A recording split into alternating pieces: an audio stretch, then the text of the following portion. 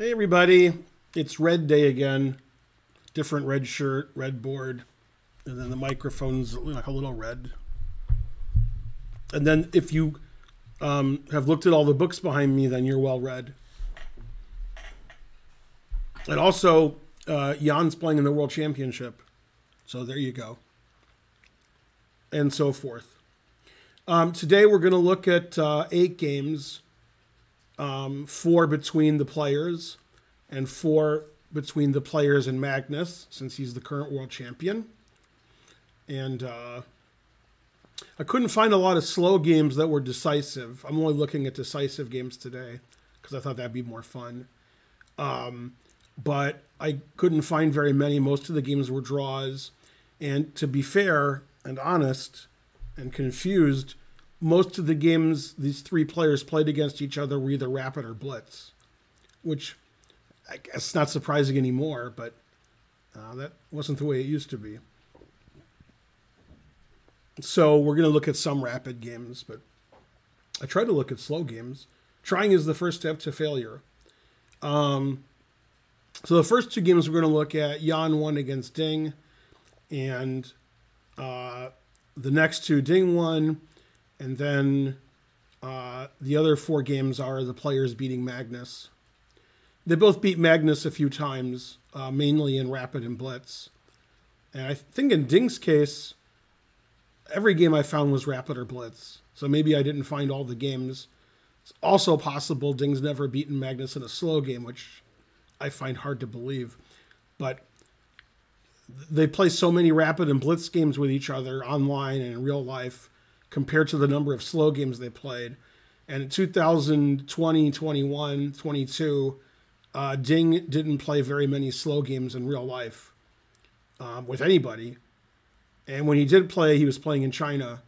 So Ding really didn't have, uh, I think, the proper preparation for a world championship since he his opponents have all been Chinese and for the most part weaker than he is as far as over the board slow play is concerned. So we'll see if that affects him during the match. The other advantage Jan has is he's played a world championship match and has all that prep from match with Carlsen.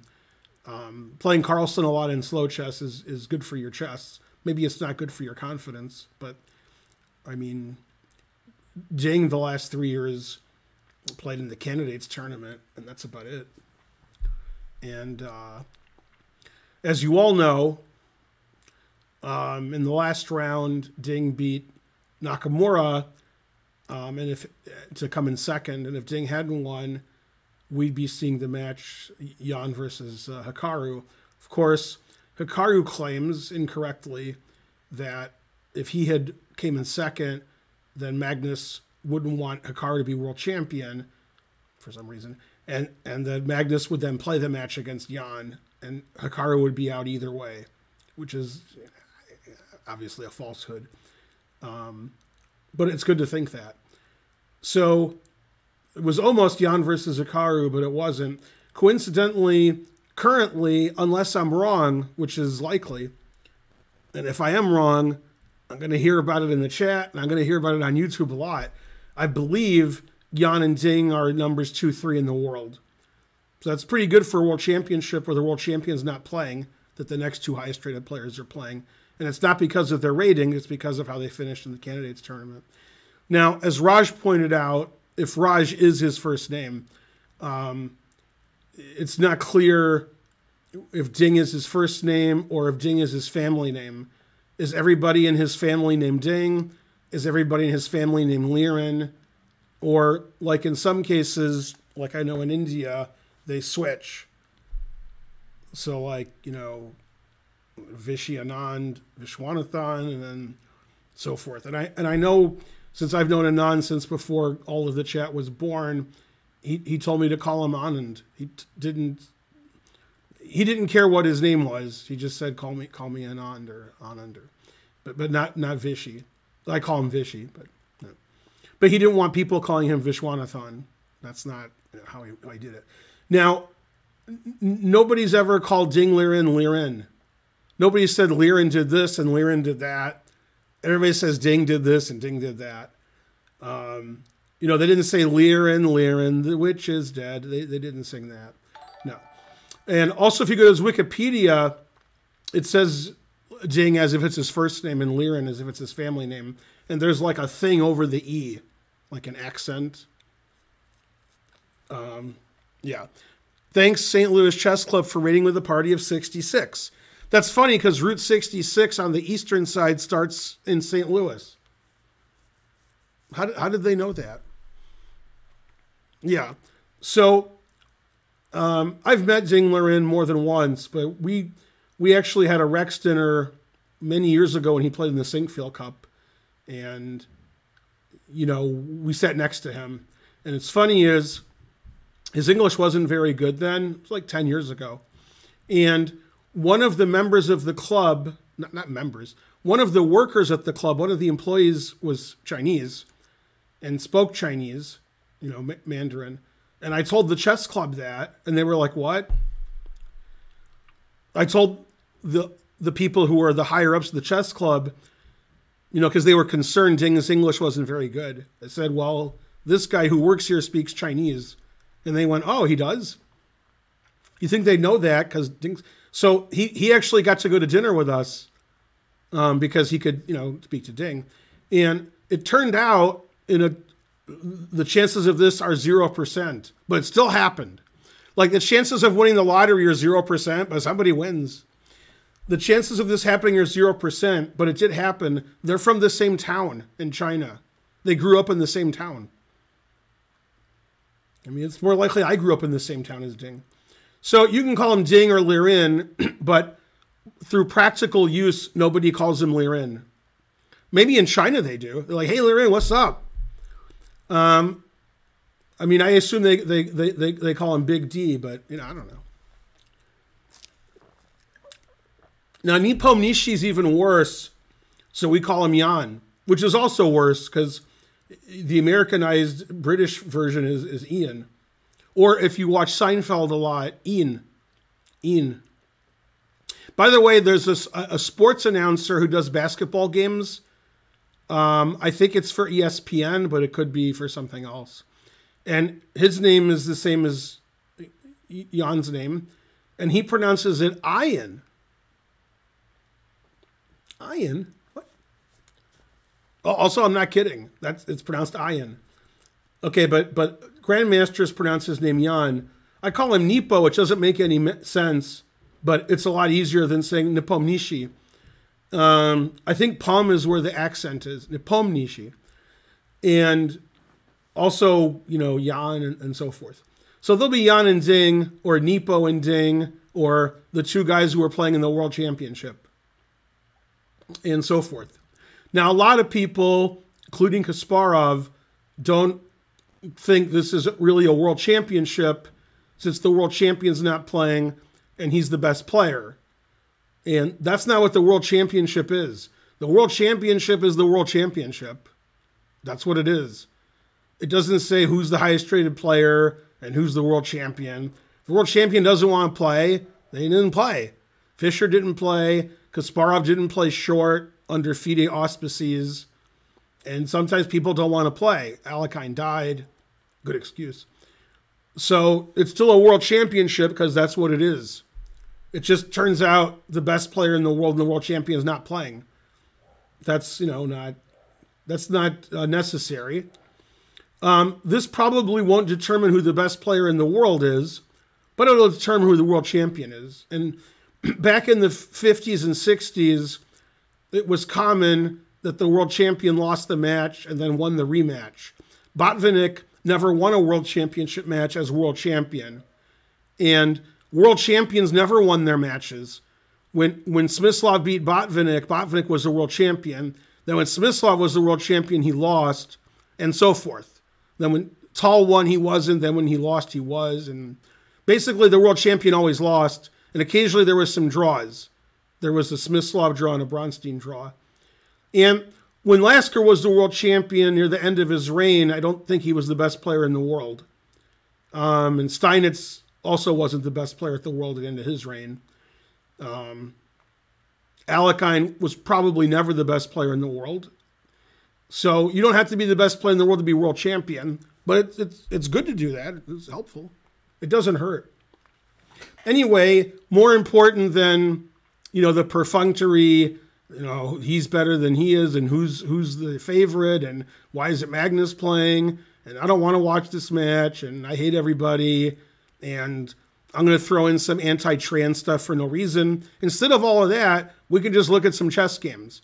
Now, unfortunately, for those of you who are watching in America, which is most of my audience, the games start Eastern time at 5 a.m. and then on the West Coast at 2 a.m. So it's not going to be easy to watch. I'm not going to do live commentary. If you want to see live commentary, you can, I think. Um, chess.com has it and FIDE has it. But FIDE is very bad at um, getting their product up to the public. So I would assume they're going to have internet problems and they won't know how to put it online and it's going to be ridiculous. Um, the players are good, but FIDE is such a bad organization, they can't really advertise the event properly or show it properly. So probably watching it on chess.com is better. Chess.com has like eight commentators, uh, the best one being Fabiano Caruana. The, the FIDE commentary team is uh, Anand Dubov and for some reason Irina Krush. Um, so those players are also good. Um, but, you know, it'd be nice to watch Fabi's analysis. And Naroditsky's analyzing, and David Howell and Hess, and three other people I forgot. Whoever those people are, they're good, whoever they are. But I'm sure Fabi will have the best, you know, opening preparation analysis of the players. Now, players are different in styles, which makes for a good match. Uh, Ding Liren likes solid, equalizing play with white and getting an advantage. I'm sorry, with black. I said white. Sorry. With black, he likes to play solid and equalize and eventually outplay his opponent. And with white, he likes to get a small advantage and impress. Uh, very much in the style of, I guess, world champion Anatoly Karpov. And Jan likes to mix it up and play novelties that are interesting and get double edged positions that are very complex. And typically, Jan plays faster than Ding. Jan plays too fast sometimes, and sometimes that hurts him. Also, Ding seems like he has a steady head. He's not up and down a lot. And Jan seems the opposite. When Jan's winning, he's on fire. He's playing great. He's confident. And when he's losing, he goes into a tailspin and keeps playing badly and too fast and chokes on his own rage. So, question is, I guess, what's going to happen the first three or four games? If you know Jan's ahead two and a half half, then he's a good front runner. If Ding's ahead two and a half half, Jan Jan could just lose all the games because Jan Jan doesn't like to be behind, and Ding's pretty solid. So it'll be a really interesting match because styles are pretty disparate, I think. And players are pretty good too. And I guess I give a slight edge before the match to Jan simply because he's played in a world championship before. If the last world championship had Ding playing Carlsen, then I would give him the advantage because I think that's advantageous playing in one before. Tournaments held in Kazakhstan glorious country, Kazakhstan. And it starts tomorrow. Or in some cases, like if you're in Europe or Asia, it starts today. So there you go. If you're watching on YouTube after the fact, it started a couple days ago. So there you go. Is Nepo going to get up and leave after every move? Probably.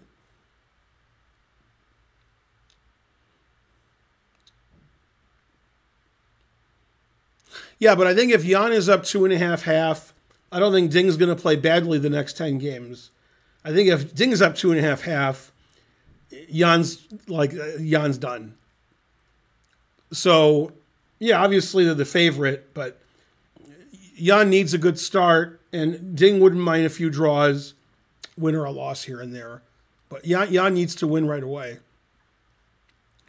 I hear, yeah, Geary, that's right. Uh, Geary Danya, Caruana, Hess, David Howell, and two other people are the commentators for chess.com. Um, and then Yeah, Iron Eagle. That's correct. Thanks, Lawful Waffle. Thanks, Fem Bingle, for 300 bits. Chess 300. Eh, that's close. Is Geary funny URL? I assume you mean IRL. But URL is a funny typo. Yes, Geary's funny in real life and on the internet.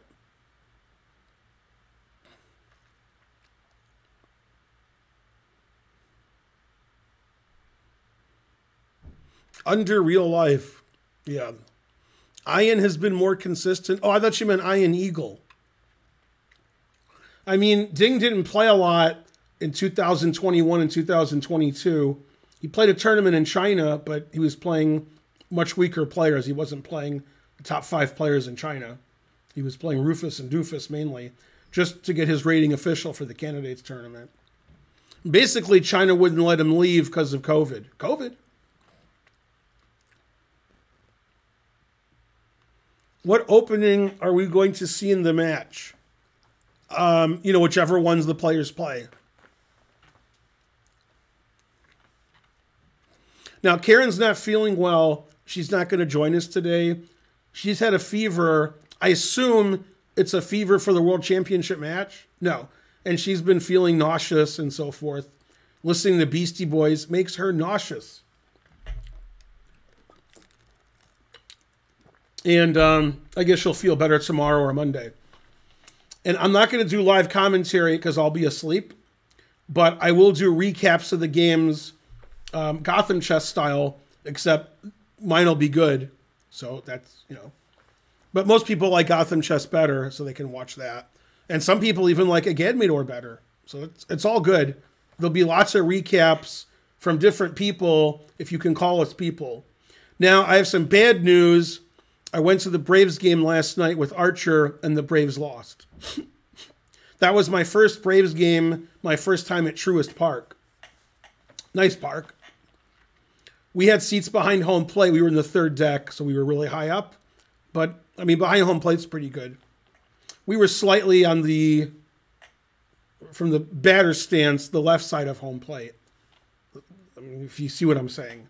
So, like, if I'm sitting here, home plate's like instead of straight, it's like home plate was there, which is the opposite for you. So, although no, that's how. Yeah, that's that's right. Yeah.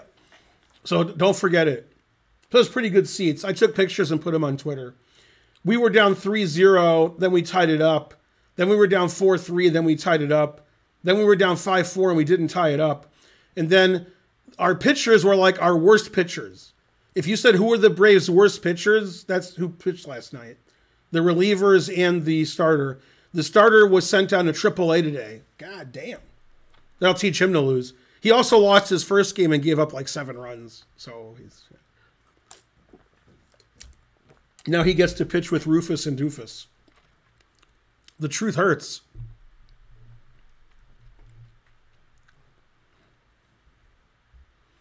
Anyway, it was cold. It was like 59 degrees and windy. It was unfortunate. Go Morton. Morton will pitch today if the game's not rained out. Also, our, our best or second best pitcher, I think he's our second best. I think Spencer Strider's our best pitcher. Our, our best or second best pitcher is out injured for two weeks. And uh, our center fielder, who bats about 300, uh, he's also out. He also has an injury. So that's unfortunate for the next couple weeks and so forth.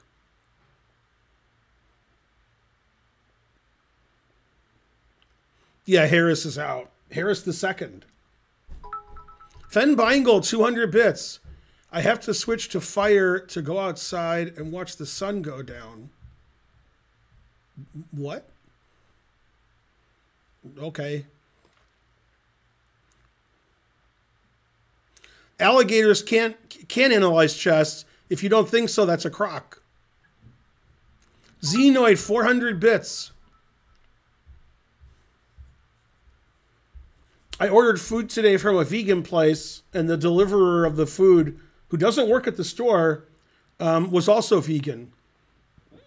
And I said, My son's name is Bort. And they said, My son is also Bort. So I was surprised.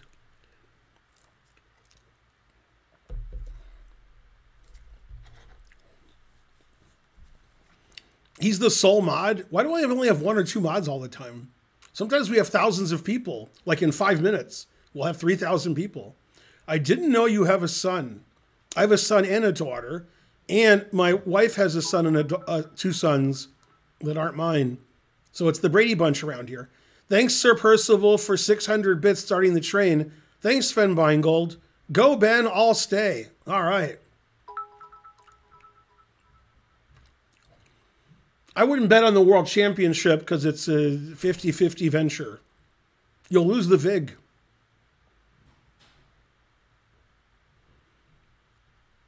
I have, I actually, about three weeks ago, I added like six more mods, and we still don't have any mods. Like, we have like 20 mods on this channel, and usually there's two or three watching or, or less. Sometimes there's zero. I mean, 20 mods seems like enough because some of the mods, you know, get power hungry and start acting crazy. So we don't want to have too many mods. Etc.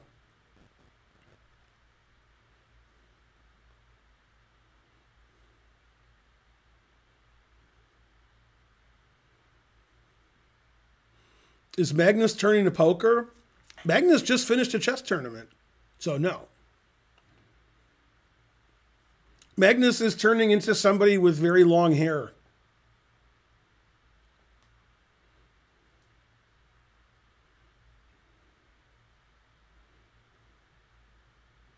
The more you ban people, the more I'll make you a mod.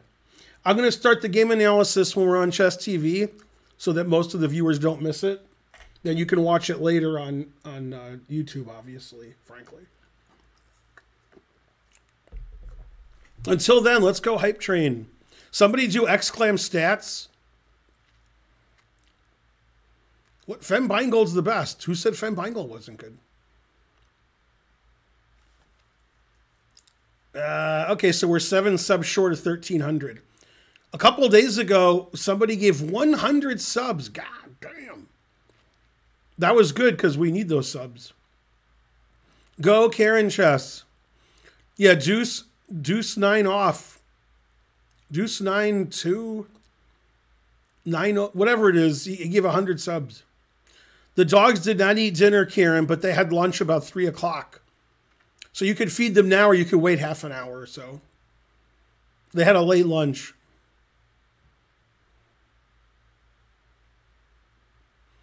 Yeah, Magnus's hair is crazy like Fox News. By the way, I was on CNN on the internet today and one of the articles was about the World Championship, and the headline was Magnus isn't playing. Then they talked about the other players. And then what they should have done was have most of the article about Magnus's hair, but they didn't do that. That's bad reporting. They had a picture of Magnus with his hair. So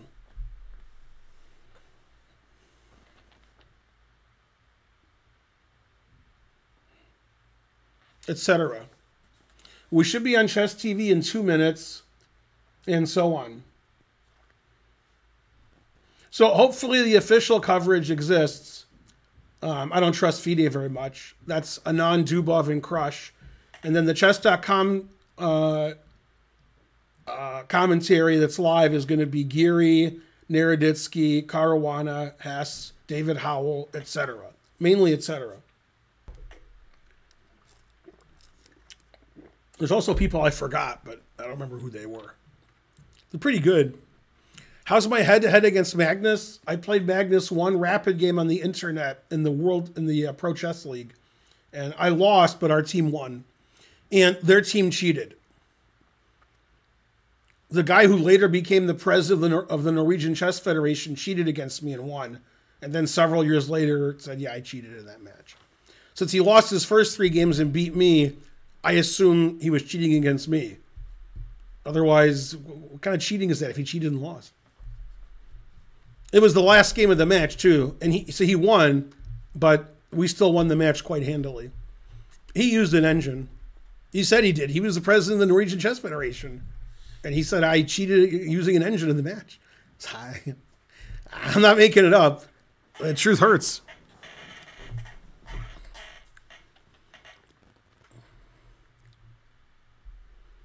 That was a huge thing here in Norway. He, he didn't say he cheated against me.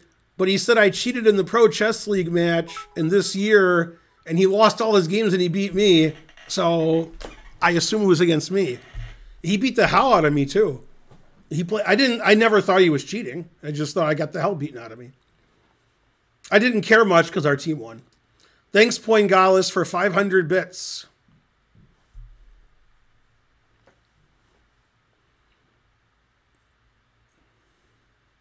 Yeah, people online cheat a lot. It's unfortunate. That's possible. Well, I think since his team was behind and he was 0 and 3, he felt cheating was important. Although it was the final, it was the finals. So I mean, you know, that was a big time to cheat. Has anyone ever cheated against you OTB or strongly suspected it happened? Um, well, nobody's ever been caught cheating against me and forfeited, but I'm not only strongly suspect it happened, I'm sure it's happened. It's more than it's more than strongly suggests. Uh, you know, I've played thousands of rated games, so I'm sure I've been cheated against 10, 20 times. You know, people cheat. What are you going to do?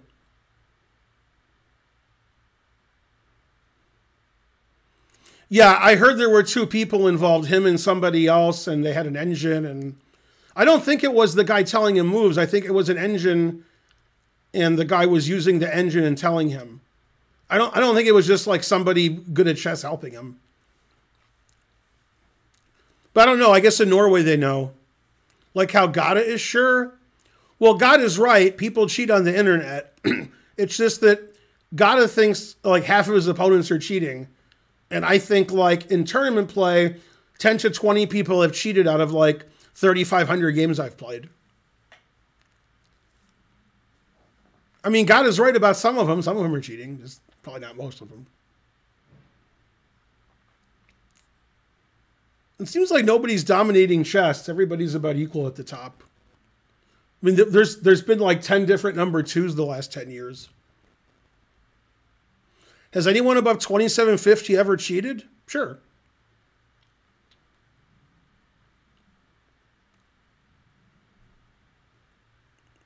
Oh, I have specific examples. Yeah. But I can't just say this guy was cheating. I, I told my friends that. I said this this guy was cheating, but he's still cheating. There's there's two American players who I think cheat all the time. One's a GM and one's an IM.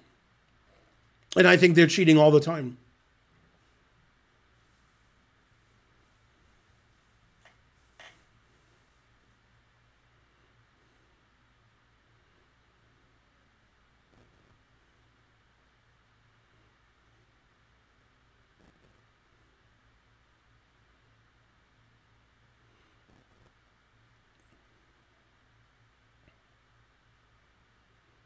I, I have no evidence that Gotham Chess has cheated. If it's been proven he cheated and he was punished, that wouldn't shock me, but I have no evidence of that. It's there's very few people that it would shock me if they cheated. Thanks, Mark, for gifting a sub. Um, Hikaru would shock me. Magnus would shock me. Fabi would shock me. That's about it. I would be mildly surprised if a lot of GMs were shown as being cheaters, but I would be totally shocked if it was Magnus, Hikaru, or Fabi. There's probably other people too that would shock me, like Bartholomew, Rosen.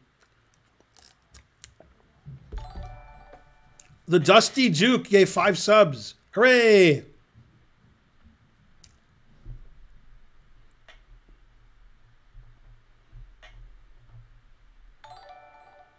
Mamedyarov never seems to have good tournaments online. He seems to be very wishy-washy. So there's no evidence that he would ever cheat. It's not like Mamedyarov killing it online. You know, I, I beat Mamedyarov. And Mamedyarov didn't even accuse me of cheating. That's how badly I played. Top 10 players don't cheat. Uh, maybe.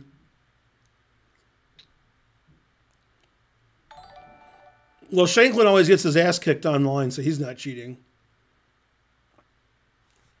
Aronian, I would be very surprised if he was cheating. You. Which top player would you most believe cheats? I mean, I really can't answer that um, for technical reasons.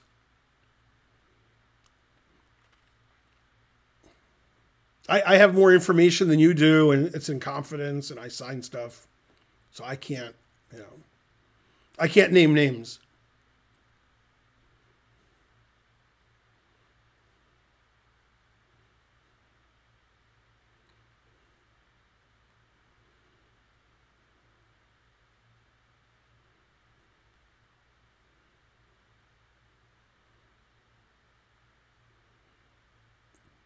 Never sign anything. High chess TV. A lot of the cheating that's going on in internet chess is by unknown people. If you start naming super famous players, then it's pretty rare.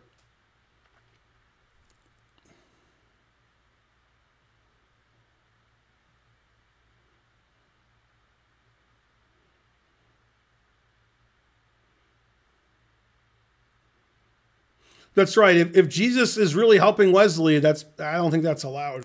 Although on the other hand, you know, when Jesus was around, how good at chess could he have been? So, you know.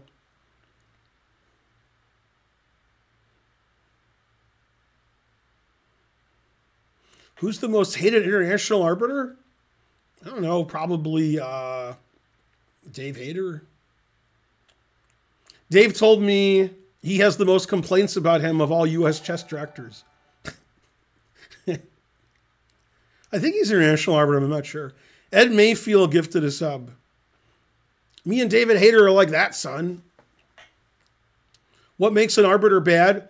Well, when I was in the UAE playing in a tournament, the arbiters were talking really loudly to each other. And they don't know any of the rules. A lot of these big international tournaments, FIDE gives the arbiters lots of money and they're just friends of theirs. They're not, they didn't get it by earning it. You know, FIDE is a pretty corrupt organization. So if you have these big tournaments with lots of arbiters and they're well paid and they get their funding, you know, they get their airfare and hotel, a lot of them are just friends of the organizers or FIDE officials. So they're not good arbiters. They're just, you know, friends of the people who are make those decisions. So those are bad arbiters. Bad arbiters make a lot of noise, don't know the rules, make bad rulings. There's a lot of those.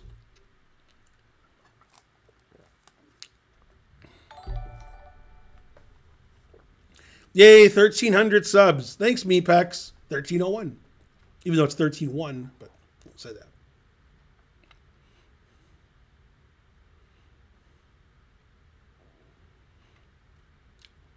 Is OTB cheating by going to a bathroom and checking a phone. Um, that's one way to do it.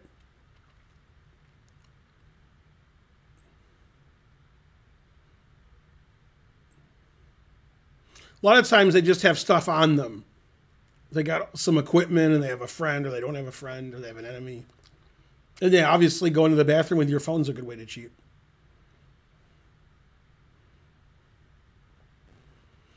Yeah, the arbiters like Nepo a lot. That's true. Are there such a thing as arbiter certification? Yes. There's many different levels of arbiter. Do I like Queen, the, the, the group? Yes. He's banned and his children's children. I'm not sure what Raz's punishment was.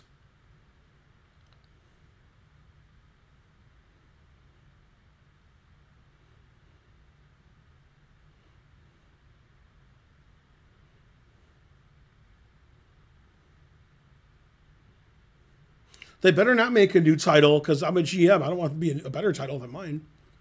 That make me look worse. The World Championship starts in 10 hours. All right, let's look at some games. Hi, Chess TV people. I'm Ben. Karen's not feeling well today. She might be hanging out in the chat.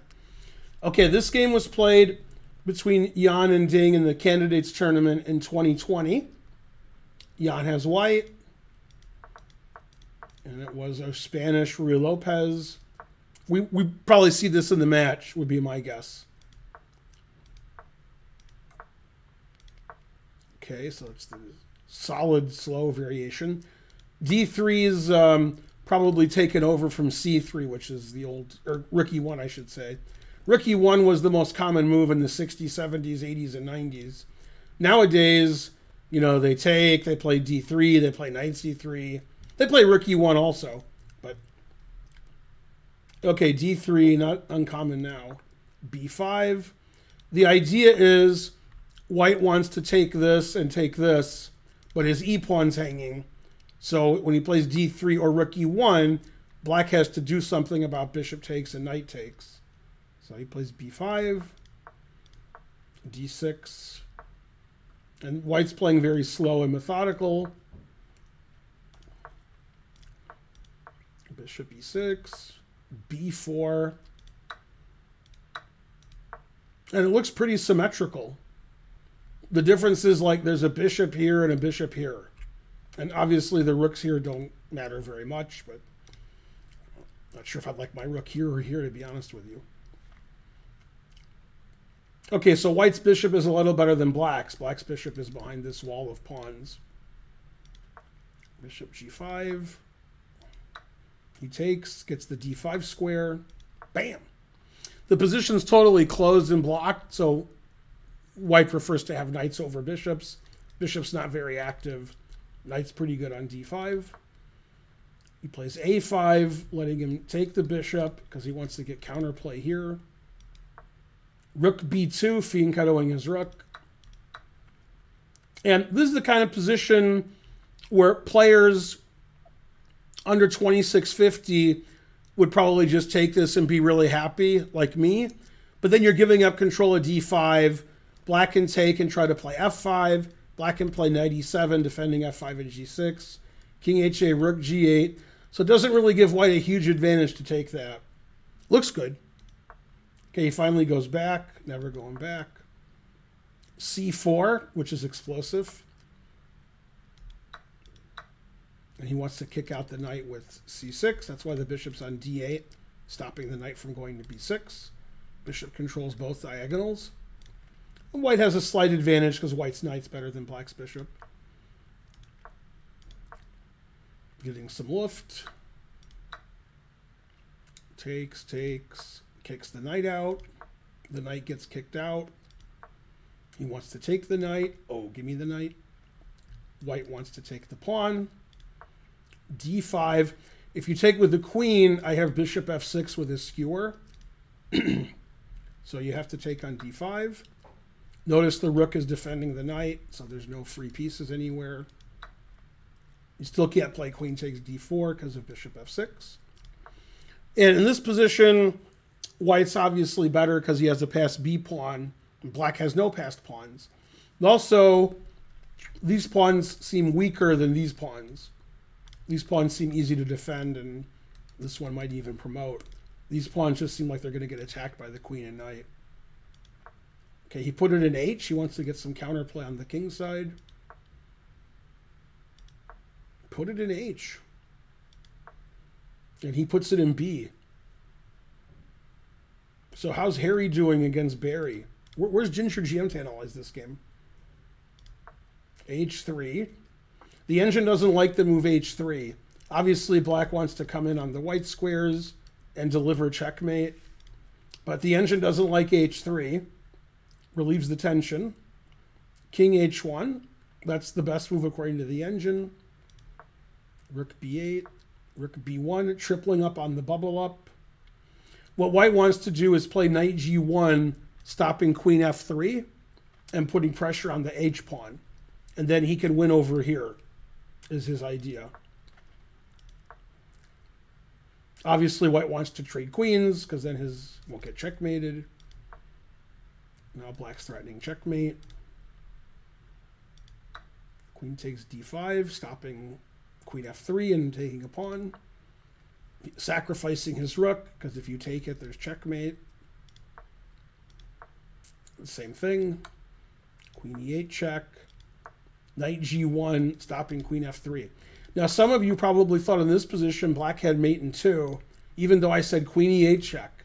It's check, so you can't checkmate me. Knight g1, stopping queen f3. Now he sacrifices a piece. He takes it. Now he's threatening queen here, check, queen here, mate, because the knight's pinned. also, queen here looks pretty good. White has one move that wins. White has one move that wins, and every other move loses. The truth hurts. Black's also threatening a third threat, which I didn't mention, mainly because I didn't see it, which is rook takes knight check, king takes queen d1 mate. So we got this mate, and we got this mate, and queen here is also annoying. But queen h4 check is a defense. Black king can't really escape. So white has one move that wins. Ian played it. Queen h4 check. Rook d1, f3. Never play f3. And here black resigned. And the commentator of the game that I found this on on ChessBase, I think it was Krasenkov, but he said white resigned too early because what's going to happen is I'm going to win this pawn, you're going to win this pawn, I'm going to win this pawn, and it's hard for white to win with these two pawn doubled isolated pawns. So it says he shouldn't have resigned here. And the way I can force you to take this and not have the perpetual pin on my knight is to play rook b4. Because then if I take this, then I can eventually go here, here, and here, obviously, and get my king out. And then you won't have won my pawn and saved yours. So after rook b4, you have to take, I take, you take, and then king g2, let's say. And the commentator of the game thought white, white, black resigned too early. The engine doesn't agree. The engine says white's up 3.5. So here's the engine line, which was also given by the commentator. I guess he stole it from the engine. And this is more or less forced. And if white doesn't have either of his pawns, the game is a draw. If the pawn was here, it'd be a very easy win, or here. But since they're doubled isolated H pawns, I agree resigning is premature, but I have no doubt that Ian probably would have won the game. And the engine says white's completely winning, but that doesn't mean it's easy to win. Just for an engine, maybe it's easy to win. So after f3, which he should never do, then black resigned. Ian doesn't go by trends. He plays f3 when he wants it. Ben Finegold, you missed fork. Knight g5, forking h6 and f3. Forking h6. What? There's a fork hello. What?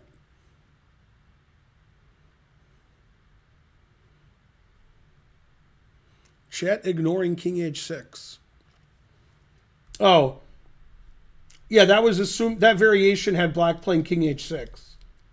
Yeah, obviously after here, here, here, there's a fork, but it's it's actually black's move, and black would play king h6 or f6, stopping the fork, and then do this. Black actually doesn't want to take this unless he's forced to. He wants to keep this here.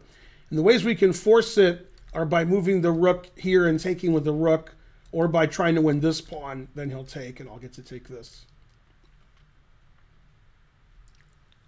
Anyway, this is uh, a slow game they played in the candidates in 2020, which Ian won. And as you know, Ian won that candidates, and he won the candidates in 2022, I believe. So he always wins the candidates. So there you go. Okay, that was the first game. On to game two. This is Ian's game with Ding uh, played in 2016. This game was played in China. And instead of playing the Ruy Lopez, which we saw in the first game, Ian played D4 the Scotch. So, I mean, if I was a betting man, I would think that Ian's going to play the Ruy Lopez in the World Championship match and not play the Scotch. But he might play both. Bishop c5, that's what I play. Knight c6, queen f6 is the main move. They took with the pawn. Queen f6 is the main move. Then they either play queen d2 or queen f3. I've never played bc. Okay, just doesn't want to play queen f6.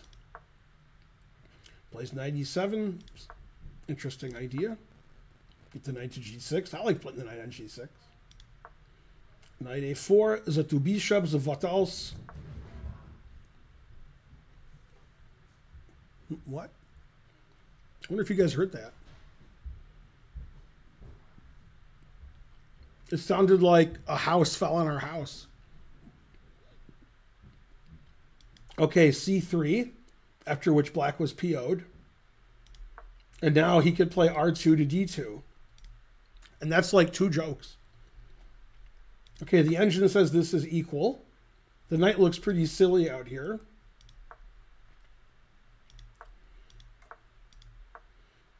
Put it in F. Yeah, I'm not a fan of this maneuver. It doesn't look right. Not too interesting. White seems slightly better. The engine says it's equal. Bishop a6.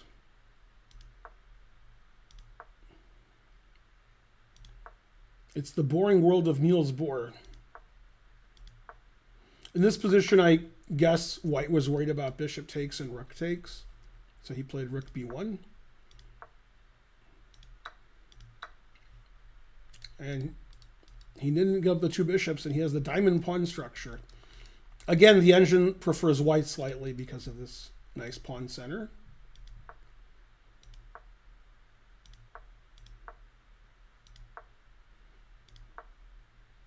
Looks like white could get a passed a pawn later in the game. Or, or he could do it now.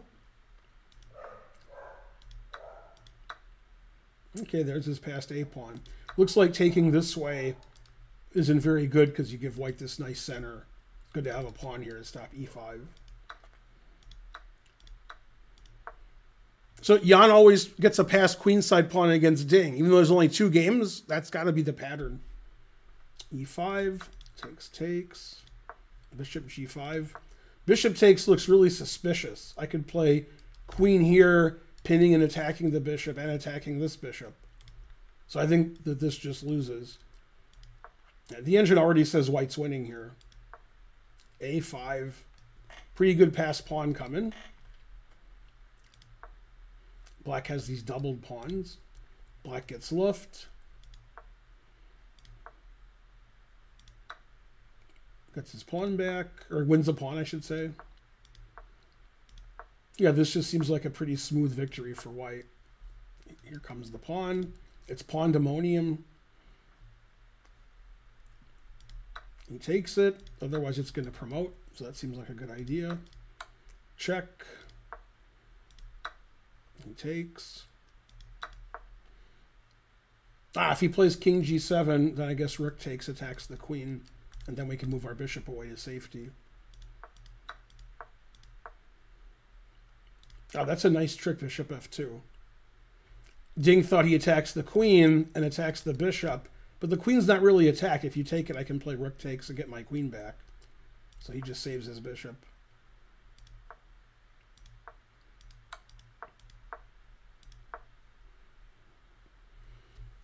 And here he's just up a piece for nothing, so black resigned. If bishop check, just g3 or bishop g3, they both win. That's a pretty smooth victory. He got a pass pawn, and he was also better in the center. It's better on the queen side. And black played knight e7 to g6 to e5 to d7 to b6 and traded off his knight. So that wasn't a very good game from Ding. Very good game from Ian.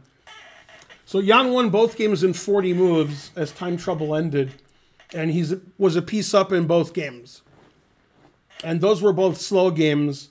This one was played in China in 2016, so it is seven years ago.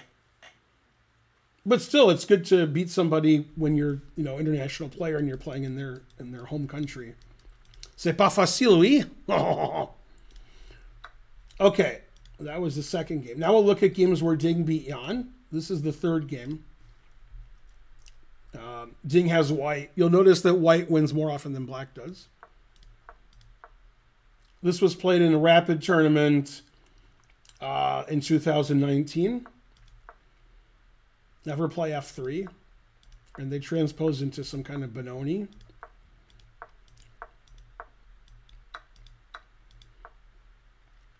Ian's one of the few super GMs who will play really interesting with black and mix it up and not just play for solid equality like Ding would. Pretty standard stuff. Sometimes they play h5, h4 and kick the knight. He plays knight e8, which usually means you want to play f5, but it could be he's just opening his bishop up. Rook b8, wants to play b5 or f5. They're both sacrifices, it seems. Okay, knight c7. Uh, b5 is not a sacrifice. Bishop f4 attacks the d-pawn. Queen e7.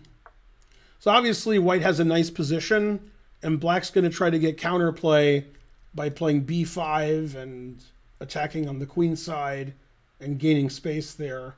And white has a nice center, has all his pieces out, he's castled.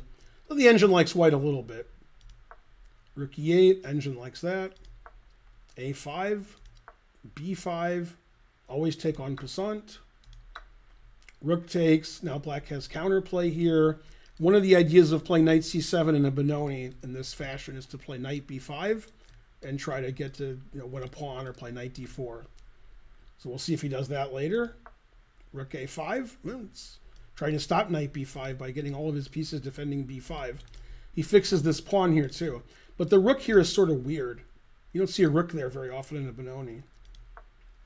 Rook b4. Knight f1. Wants to maneuver the knight to c4. Now he plays knight b5. So when the rook was here, back here, somewhere, we could just take the knight and win a pawn, but now that the rook is in front of the knight, the b pawn is attacked now. That's why he played rook b4 before he played knight b5. Now if you take this, this pawn is loose. He took back. I'm surprised he didn't take on b2, but there's probably some tactical trick. No, the, the engine says rook takes b2 is okay. Although it does play bishop takes d6. And then I'm too old for this position, so I resign. It says white's clearly better. Says queen d8, man. Then all, all the pieces are hanging. Thanks, Mr. Floopy. Hang on, Mr. Floopy. Floopy, hang on. So this was possible. He took with the pawn. Rook takes, defends the pawn through x-ray. So now white's a pawn up. Doesn't seem like black has a lot of compensation for a pawn. Okay, so he plays crazy f5 get some compensation. Queen c7, threatening d6. The engine doesn't like queen c7. It wants to play knight d2, defending the e-pawn. Now it says black is fine. Bishop e5. Engine hates that move. It says just take on e4.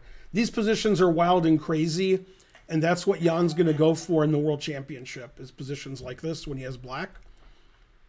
Um, and his... Thanks, Deuce916. Thanks for the sub. You're the guy who gave thousands of subs before. Thanks, Fen Beingle, for gifting a sub. Go, Deuce916. No, nobody watches hockey. Okay, so he played bishop e5. Takes, takes. Engine doesn't like bishop e5. Rook a5. He wants to come to a8 and put some pressure here. And he does. The engine says this is about equal. Rook back to a1. His rook was attacked.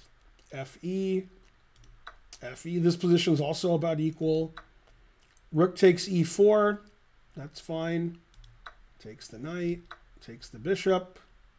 And this, this should end in a draw. There's a lot of trading going on. And position's about equal. Rook d1. c4 is explosive.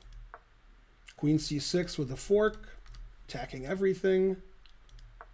And he plays rook f8. The engine prefers queen e2, defending the pawn and the rook. Says that's completely equal. Now it says white's slightly better, but still a draw. Bishop g4 is an excellent move. He attacks the rook. The queen can't take the bishop because queen takes f1 would be checkmate. So he plays d6, check rook f7, and that's not a good move. Should play queen f7, and then after queen takes, king takes, we can round up this pawn, and the game would, should end in a draw. So queen f7 would equalize. After rook f7, white's slightly better. Rook b1. Now, there's two moves that draw quickly, but nobody would ever see either one of them. One is bishop h3, and one's bishop f3. And the idea is if you take, I have a perpetual check. Only Shirov would play bishop h3. Instead, he played bishop e2, which looks good. Okay, but that's actually a blunder that loses the game. But it looks good. It looks like it wins. But unfortunately, it does not. This was move 37. so I'm going to assume Ian was in time trouble. And that if he wasn't, he wouldn't have played this because he would see that it loses. Queen c8 check. And after rook f8, it looks like you're threatening queen takes knight mate and rook takes queen and everything's good. The thing is, you're not threatening queen takes knight mate because after rook takes, your rook can't go to f1 because it's pinned. Check. Now he's threatening queen f1 with mate. Check. Knight e3. So he stopped the queen f1 mate. He's got his passed d pawn. The black king isn't very good, and the bishop isn't doing anything. And the engine just says white's winning. Black can't attack anymore.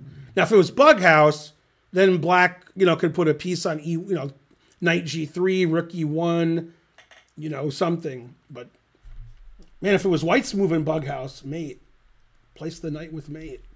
Okay, so he played bishop f3. He's hoping for this perpetual. And here's a funny line. If you don't acquiesce to the perpetual and play knight g2, gotcha, bitch. It's the famous game gotcha versus bitch. Oh, snap. So bishop f3 is a tricky move, but not really a big threat. He wants to take and play the same mate. So he plays h3. Now this mate that I showed you with all the gotcha bitches and oh snap, that doesn't work because I have king h2. Bishop c6. Bishop's defending and attacking. Knight d5. Bishop's not attacking anymore.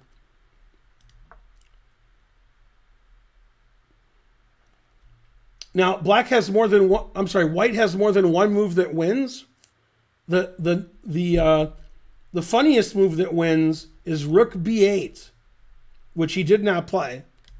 And the idea is I played knight f6 check, and if you go here, this is mate. So you have to give your queen away, and then I win. But instead, he played knight f6 right away, which is equally good or better. King f8. Now be careful, black's threatening queen g2 mate. Check, check. Draw a green. No, not just kidding. Queen g5 stopping the mate. White's up two pawns. White's threatening queen g6 and knight e8 and d7. Rook e6. d7 threatening d8 queen. The truth hurts. And there's no checks. The queen stops all the checks in the dark squares. And we're threatening the queen and we're up two pawns, and the g pawn is attacked. King e7, walking into the double, triple check, quadruple check. And white plays the best move. The engine announces mate here. Instead of moving the knight with check, which gives the pawn away, which also wins, knight here is winning. He played queen c5 check. That's the best move. Now the pawn's defended. So if you take the knight, I queen with check. If you play king here, I assume queen here check is the best move because we queen with check. That's correct. And if you play, you don't have any checks with black. They're, they're all covered. So I'm going to queen next move. So here Ian resigned. So actually, Ian's opening and middle game worked out okay. He got an equal complicated position. Then he just got outplayed and he missed bishop f3 and bishop h3 which probably both draw when he played bishop e2, he was probably playing for a win. He probably thought his attack would succeed, but it did not. But that was a very complicated Benoni. That's the kind of game Ian likes, and it didn't, sometimes it doesn't work out. Sometimes when you play crazy chess and you're good at crazy chess, maybe you'll get three and a half out of six because you guys are the same rating, but you're better than them. And this is one of the six where you lose. You know, these things happen. When you play crazy chess, you lose sometimes, especially when it's unsound. This game, it seemed like it was pretty sound.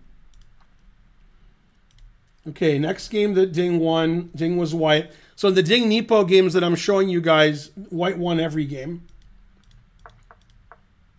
And in this position, Ding played the innocuous E3. This is the line in the King's Indian some GMs have been playing lately. And once again, he turns it into a Benoni. I've had white in this position before. I didn't do very well. I drew, but I, only time I played it in a slow game, I, I didn't like it. Usually white plays e4 later and he's just down a tempo in a regular Benoni, like here. Like this is a theoretical position, but white played e4 in two moves. But I guess a lot of the top players think the Benoni is so bad that you can just lose a tempo and you have a good position. Rook b8. Same kind of stuff as last game. Yep, same pawn structure here, except the knight's not here, moving around. Knight's already on a good square, d2. We can go to c4. This game was a game played in the Chessable Masters in 2020. Group 8. Very similar to the other game. Knight b5 again, trying to get the knight somewhere. Unpins his knight. Bishop f4.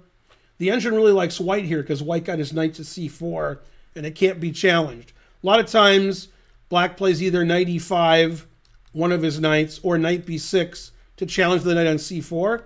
That's not happening here. The knight's going to be on c4 for a long time, putting pressure on d6 and stopping the b pawn from moving. And black got his knight b5 and probably wants to go to d4. Rook d8, trying to defend his pawn some more so he can play knight d4. Right now his knight's defending this. Now, like if I was playing a blitz game, I would be looking at knight takes and knight takes, but I guess bishop takes defends the pawn with the rook. That's why he played rook d8. So he played g4. Usually when I play moves like that, I lose. Knight takes c3 and bishop b5. He wants to get rid of this beautiful knight.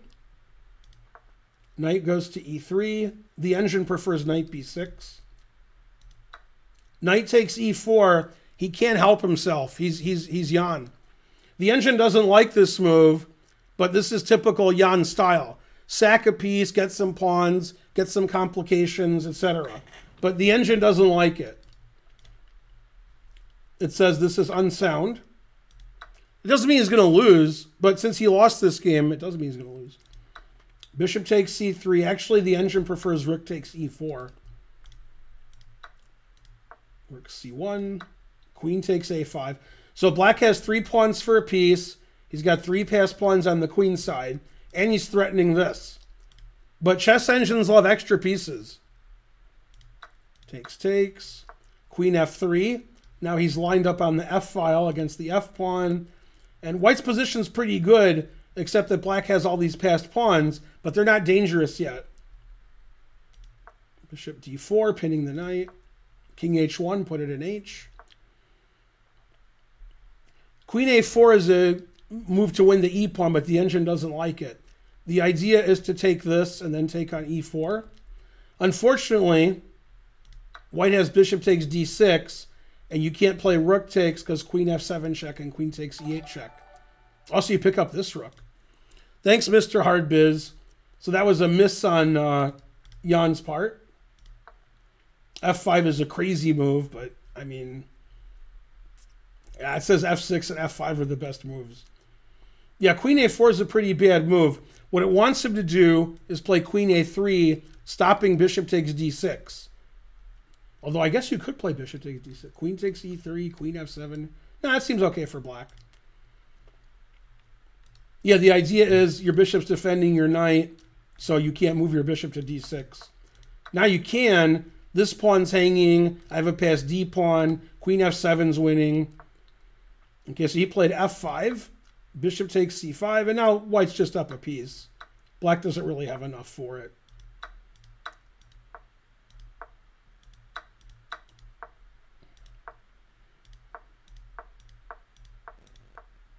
He has a pawn for a piece. That's not good against Ding. He at least two pawns for a piece.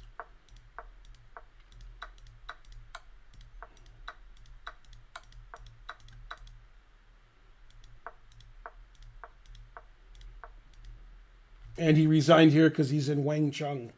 Everybody Wang Chung tonight. I asked Ding after this game because I spoke to him. I said, "Was your opponent in Wang Chung?" And he said, "We we prefer to say Wang Chung." And I was like, "All right." So now, if you move the king, you lose your pawn, and this pawn is stopped, and so forth. Take it en passant.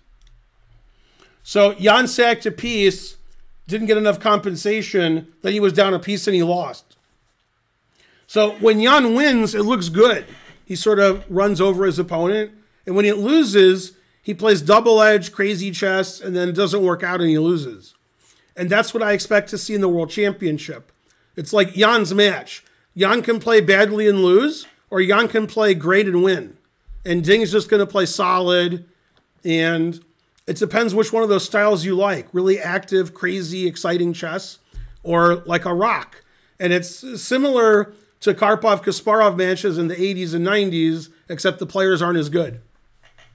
Otherwise, it's a similar clash of styles. Now, these players not only play each other in the World Championship, but they've played the reigning world champion several times, Magnus Carlsen. And so I wanted to show games they won against Magnus. Um, coincidentally, Jan's games, he was black, where he beat Magnus. Um, he beat Magnus several times. These are the ones I found and Ding beat Magnus with white. And the only games I could find Ding winning were actually rapid and blitz games. That could be more my fault than anybody else's. Now, this game was played in Tata Steel 2011. I think that's the tournament that that Hikaru won. I think. Unless he won in 2010. I thought it was 2011. I don't know. Pretty sure it was 2011. Um, and this is the game Magnus played against Jan. Magnus is white. And they played very sharp, complicated Najdorf Sicilian. I'll flip the board because that'll make you guys mad and because Jan was black.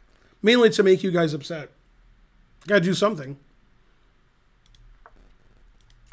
Okay, so they played a Najdorf. Jan likes to play sharp and he castled king side. It's more exciting when they castle queen side, but what are you going to do? Put it in H. And this is just theory. Engine says black is fine. Takes on f4 instead of taking immediately. Takes with the rook. He wants his bishop on e3 and his rook here because he's probably going to try to play knife f5. And his bishop is really nice on this diagonal. And if his knight gets in here, you know, rook's going to be good on the f file. Stopping like rook e8, bishop f8 ideas, trying to keep the rook, you know, here. Because after rook here, bishop here, we put a lot of pressure on the e4 pawn. Okay, so he plays knight e5. That's the advantage you have of taking this is you get e5 for your knight. Queen d4. And now the players played knight c6, queen d1, draw agreed. No, that's just what the engine does. Knight c6, queen d2. Magnus obviously doesn't want to draw with white. The engine does want to play queen d4 here and draw. It thinks that white should do that. Queen d2. And he took on b5, playing for the win. And he played rook e1. Very strange move, putting his rook behind everything. The engine doesn't like it. It says boo, boo. Now, this was in 2011, and I would say in 2011, Magnus uh, wasn't fully Magnus yet. You can see he's only 2814. Normally, his rating is above 2850. Magnus wasn't even world champion when this game was played. Ridiculous. Knight g6, attacking the rook. If the rook moves off this pawn, we can take it. Luckily, Magnus has this this pawn here. He probably saw he might lose his e pawn and thought his rook would be good on the open e line here. So he played b4. He wants to take the pawn for free and not give up his b pawn. The engine really likes black here. uh, you can't play queen takes b4 because your knight's hanging. So he took this first, then took on b4. Now material's equal, and white has a passed b pawn, but black has really good control of the center and a really nice bishop here. The knights are pretty nice also. And the engine really hates white's position due to one particular move, which Jan found. Um, this is good here if we can put pressure on g2, and white is going to stymie the pressure with bishop f3. But bishop, knight h4, you know, that makes bishop f3 look worse, and now we really got serious pressure here. So the engine really hates white here and says he should play bishop f3 anyway. And he did. Not an easy move to play, because now this bishop is really strong. Let's see, gf I would I would never play. It says they're the same. It says gf and rook f3 are both really good for black. Now black has one move here that gives him the advantage, and I would assume if I had the white pieces, I would not see this move. And if I had the black pieces, I would also not see this move. But I especially wouldn't see it with white. So I'm guessing that Magnus just missed this move. And that's why he went into this line. And the move is queen d7. So we're getting out of this pin, and the idea is if you take, I have rook a4, that's why queen d7, and I'm taking here on e4, opening up the line to your king. And this is by far the best move. So Jan's really good when it's tricky. Now the engine doesn't take this. It says boo, boo. It says after rook here, white has to sacrifice his queen. Let's see if white doesn't sack his queen. I'll make a queen move. Then it says mate in four. Check, check, check, and mate. I would repeat, of course, and then play mate. So queen d7, excellent, stopping f takes e. Bishop f4, engine agrees. Rook a4. And obviously, this position is terrible for white. Frankly, terrible. I'm going to play queen h3 and so forth. So queen takes d6 is no good because of queen h3, which is what he played. The engine wants to play bishop g3. It's a hard move to play. He played queen g4, also good. Now, the only move that doesn't lose immediately is knight d4. And he played it. Rook takes d4, always sack the exchange. Bishop f3, always sack the exchange. Always repeat. And he played queen c8. So he's playing for a win, even though black has, white has two passed pawns, because the king is so exposed. And usually in the queen and rook endings, when there's major pieces on the board like this, the passed pawns don't compensate for the exposed king. Exposed king is important. Now, the engine doesn't like queen c8 as much as it likes rook c8. Queen f2, the engine actually prefers bishop g5, attacking the knight. Check. Knight e4. Rook e8. Nice knight on e4. Gets luft. Here comes the attack. Nice solid knight on e4. Yep, Magnus gets his pawns going. Here comes the attack, and it's the shack attack. Attacking the rook. Attacking c2. Nice knight on e4. Magnus sacks the exchange because always sack the exchange.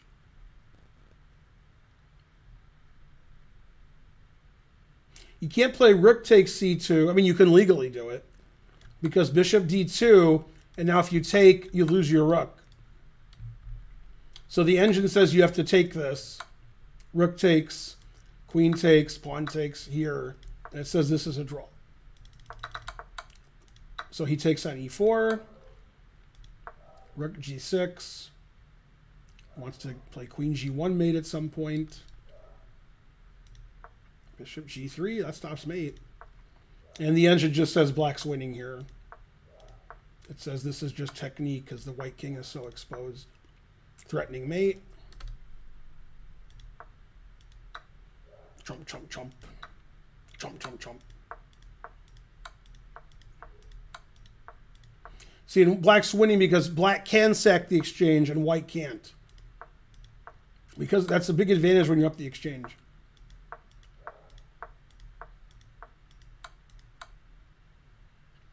Just like on TV, white plays check and then black plays check.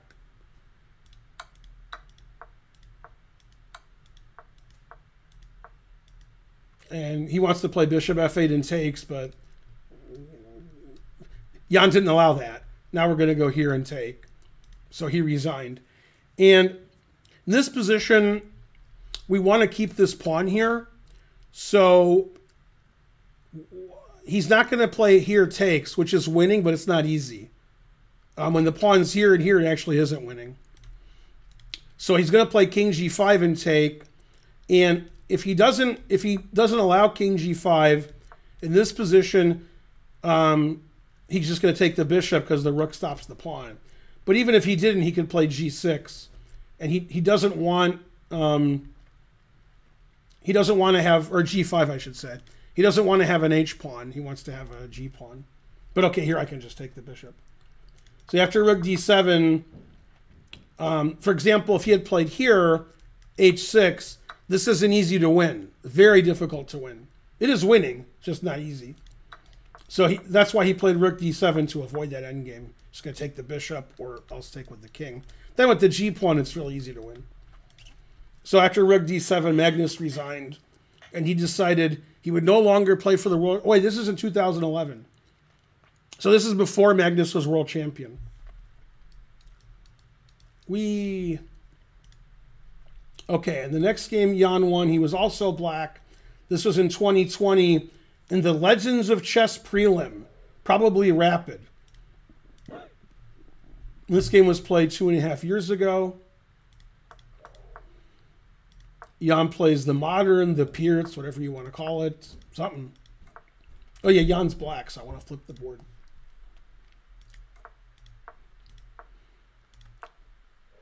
I've played this way with white. I don't like it.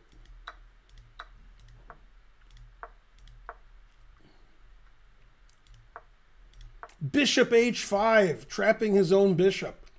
And Magnus says thank you, because he's very polite. Sacks a piece.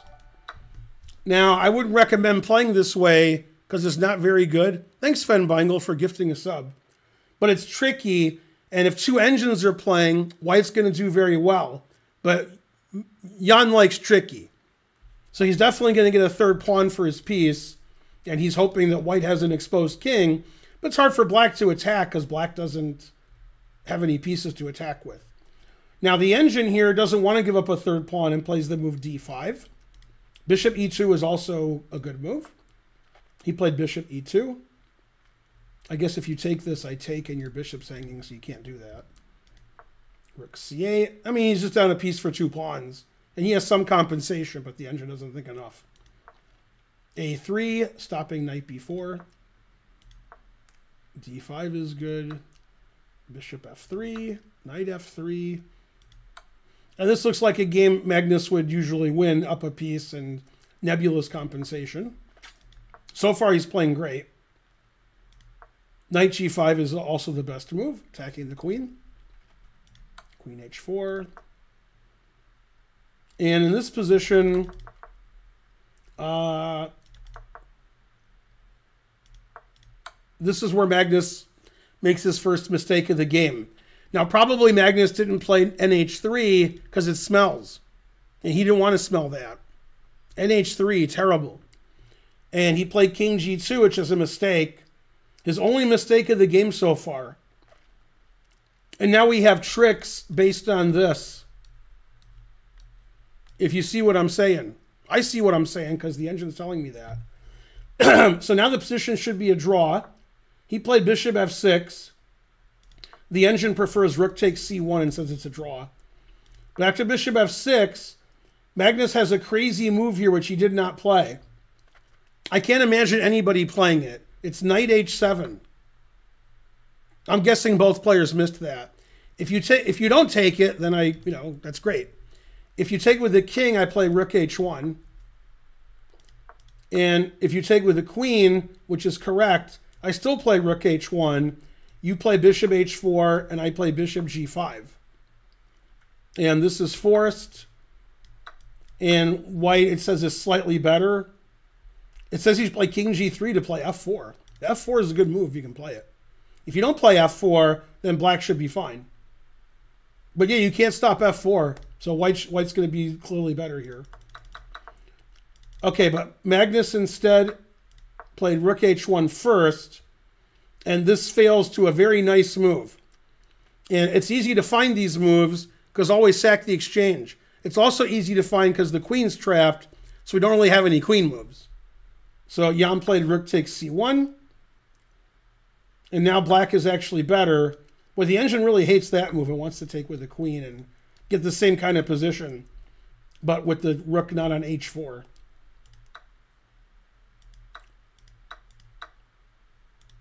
Yeah, this seems, I guess, yeah, Magnus wanted to put his rook over here.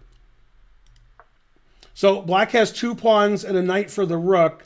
You can't play f4, and the knight's really good. I have a passed h pawn, and the engine says black has a big advantage.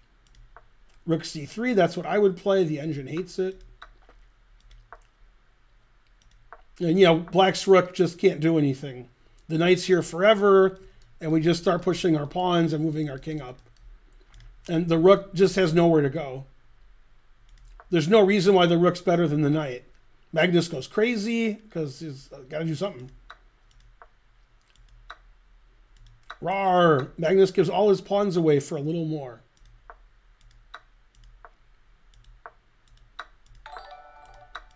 And Magnus has no pawns. And the truth hurts. Thanks for rating Moving with Matt. You're the best. Give him a shout out. This actually reminds me of my game with Tony Miles, where I had Rook Bishop, or I had Rook Knight and four against two Rooks. so if this was a Rook and this was a Rook, that would be the material. Uh, my, my pawns were all connected, though. I won pretty easily. That was one of my best games.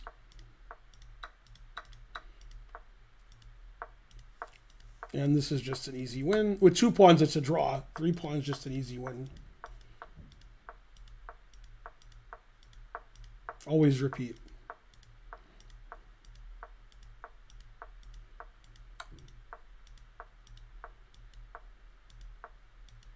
Man, truth hurts.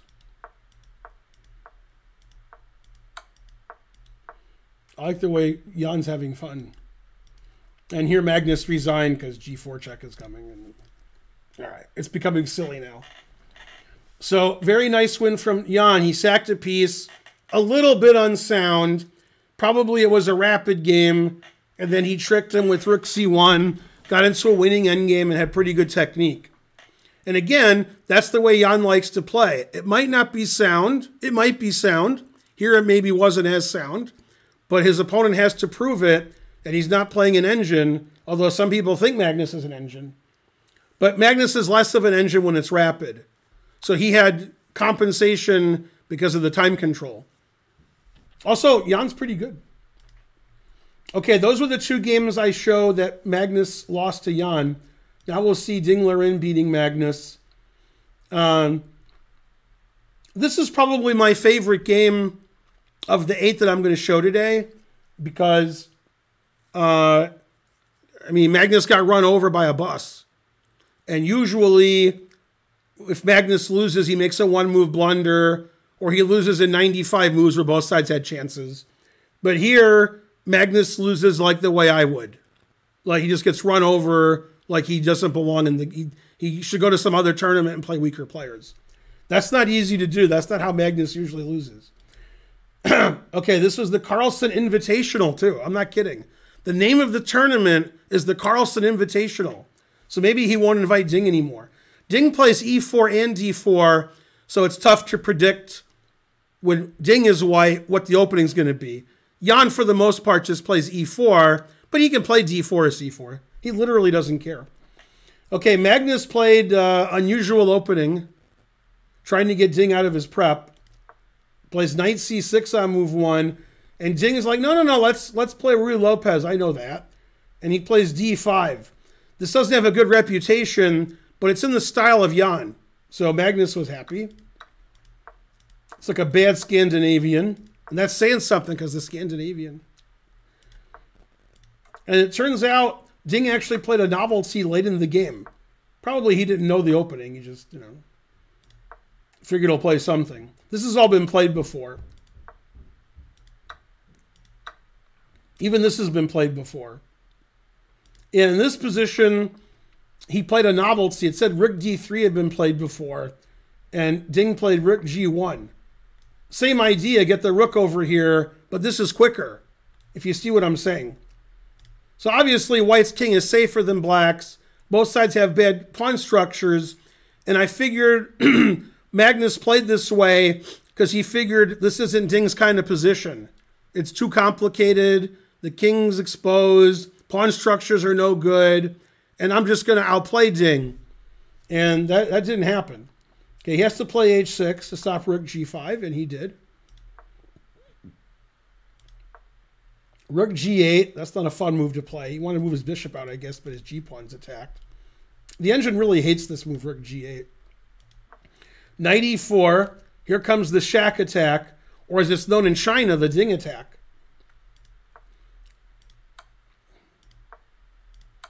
God damn. This looks like what I'm black in a one minute game. Yeah, I mean, black just has no safe place for his king. So he's just getting crushed here. He gets a pawn for his troubles. Now, what's funny is Ding's move is the second move by the engine. The engine move, which if you play would prove you're an engine, is D5. God damn. Yeah, if somebody plays D5 against you, they're probably cheating because the knight's hanging, and knight d2 is just a nice safe way to get your knight over to e5 or a5, tax the queen. This sacrifices the pawn to three different pieces and the knight. And the engine's like, that's my move, d5. Okay, he played knight d2, which is the human move. Magnus gets pawns for his trouble, but he's got too much trouble. There's just too much trouble here. King e8, god damn. Knight e5. The truth hurts. Knight takes c6. Everything wins for white. But Rook a8, setting up for the next game. Now, if we play queen b5 or queen a4 for discovered check, black can castle again. You can't castle now because then white would play knight e5 mate.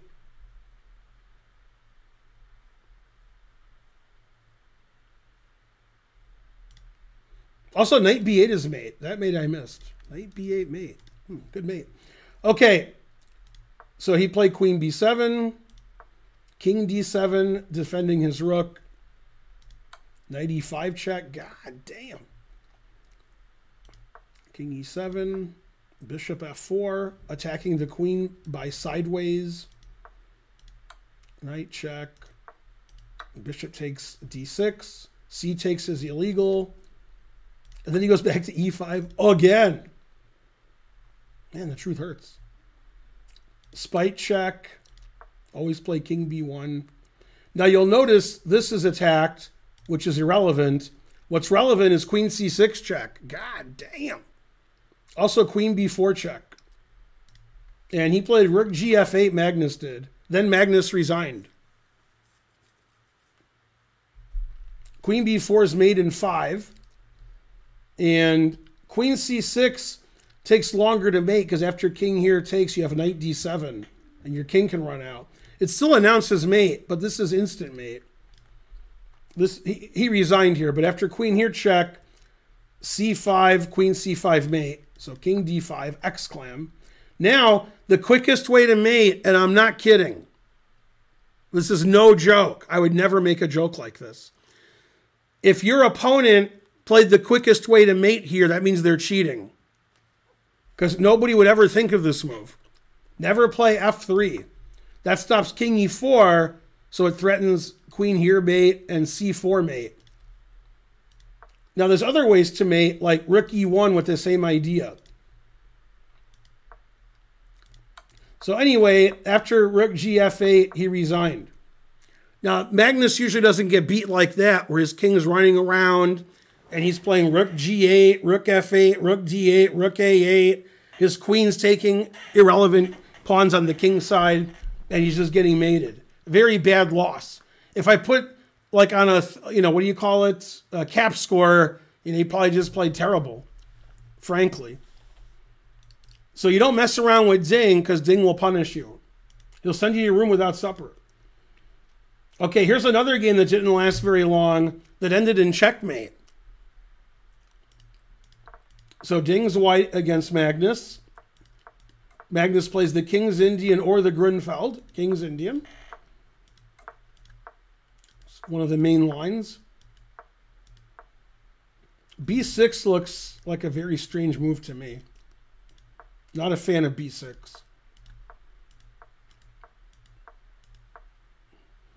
Knight h4. Put it in h.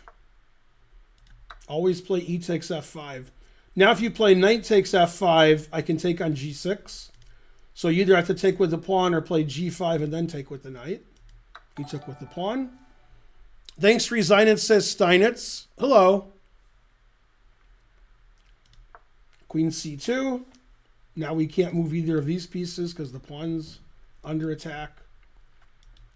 Knight f6, defending the pawn again. b4, bishop d7, c5. So white's crashing through on the queen's side and center, and black is sort of jumbled up in his pieces here. The engine doesn't like black's position, which it usually doesn't in the king's Indian. Now he plays e4, c6, bishop goes back. f3, never play f3.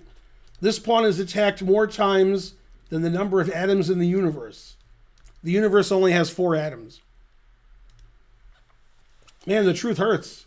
So the center's crumbling. I've winning on the queen side, and your pieces are all passive and jumbled here. Very bad position for Magnus. This was played in the Carlsen Tour again in the finals. Gets a pawn for his troubles. White gets the pawn back. Now he's threatening the knight on d5. Black's king is a little open too. Knight c3 with a fork. And now you will know Ding's name is the Lord when he plays bishop takes h6.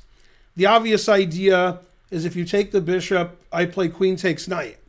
Then white just wins a pawn. Um, now, of course, we could try to win material. We could play knight takes rook on b1. Then we go bishop here check, the king goes to h8. If king here, this is mate. God damn. King has to go to h8, obviously, frankly. Then we sack on e8 because we want to play knight g6, and the bishop was defending that. Queen takes e8, knight g6 check. If king takes, knight takes rook check on f8, and then if king g8, I check. And then queen takes bishop as mate, irrespective of which way you go. So you have to go takes this. Queen g6 is at mate because it's covered. Queen h7 check. Queen here check. Queen f4 mate. And something like that actually happened. So he didn't take the rook. He played queen f6. Check. Rook takes e8. Very similar to what I was just showing you. Knight g6 knight, knight check. In this position, Magnus blunder with king takes bishop. It doesn't matter. Cage Bruno and Fen Beingold gave 200 and 300 bits. Now, if you play the correct move, king here, and then after this, it's actually better to play king f7. If you take, I check, attacking your queen, and then I check and I win your queen. And it's going to be mate soon because the engine says so. So you have to actually play king f7 in this position, and then white wins by playing rook f1.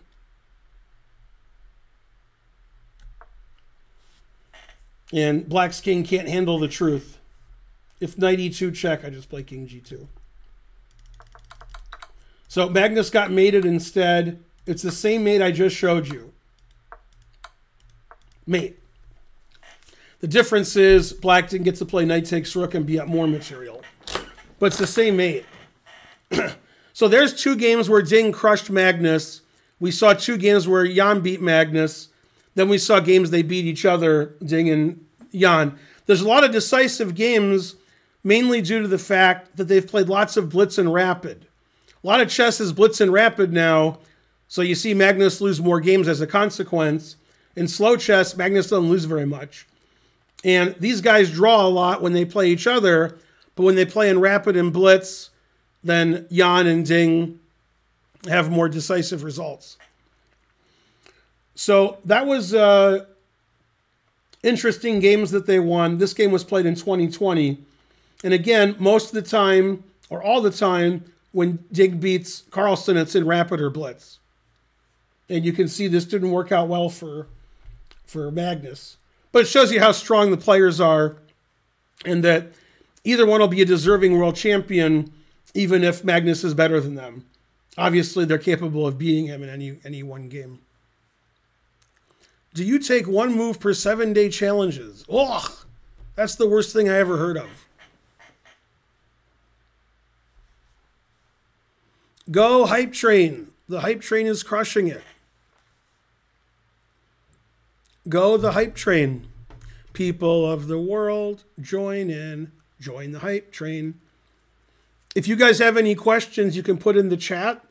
Um, you know, about the match, about Ding and Ian. Um, my opinion is it's 50 50. One of them will win, but I don't know which one. As far as I know, it's a 14 game match. If it's 7 7, they'll play some rapid playoff. Craft Single Square subscribed to tier 2. Wow. I'm glad I wore like a long sleeve shirt for tier two. Will Ian break if a game go? Uh, yes. Who's the favorite in Rapid? No favorite. They both have about the same rating. They're both about the same strength.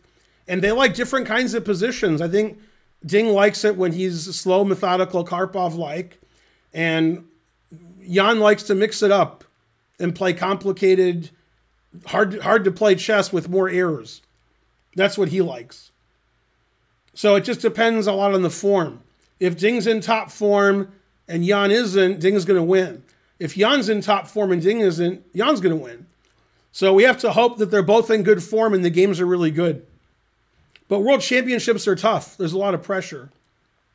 Because you know if you win, unlike Magnus, you'll get another world championship match. So it's not just the prize money and the prestige, but you'll get to do it again. Whoever loses this match, that's probably it for them. Probably this is your only shot. It's like Eminem, you get one shot. And then they go in the back and throw up. It's terrible. And then mom spaghetti and all kinds of stuff like that. How much the seconds get paid? Whatever is negotiated with the players. Yeah, I'll be doing daily recaps, um, you know, during my regular stream, whenever that is. Is the match in Astana or Nur Sultan? Is that the same city and you're tricking me? Nobody knows where the match is.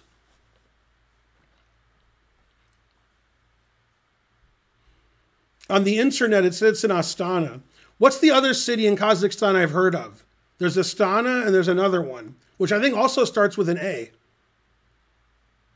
Almaty, yeah. And what happened was, this isn't a joke. There was a tournament in one of them. I'm going to say Almaty. It could be I'm reversing this, but and Hansen and his people got tickets to Astana. Then the day of they were flying, they were like, "Oh, it's in Almaty." They were going to like the World Rapid and Blitz or something. It might have been the other way around. So they had to get more tickets so that was funny because it wasn't me.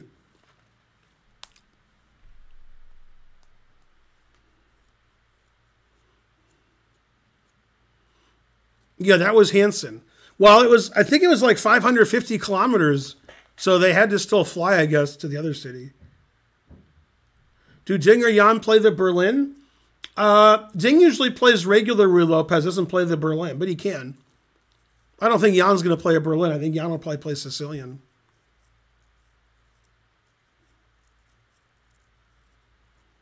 What's a kilometer? It's like a kilometer.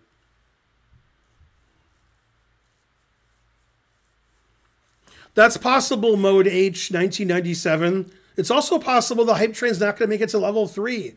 No! We need 50 subs a person so we can get to 1,400. Where are my crazy sub givers? Come on, CL Smith. You like to give 50 subs.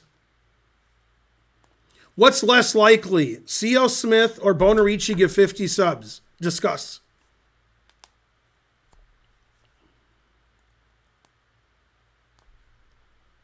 Equally unlikely. Correct.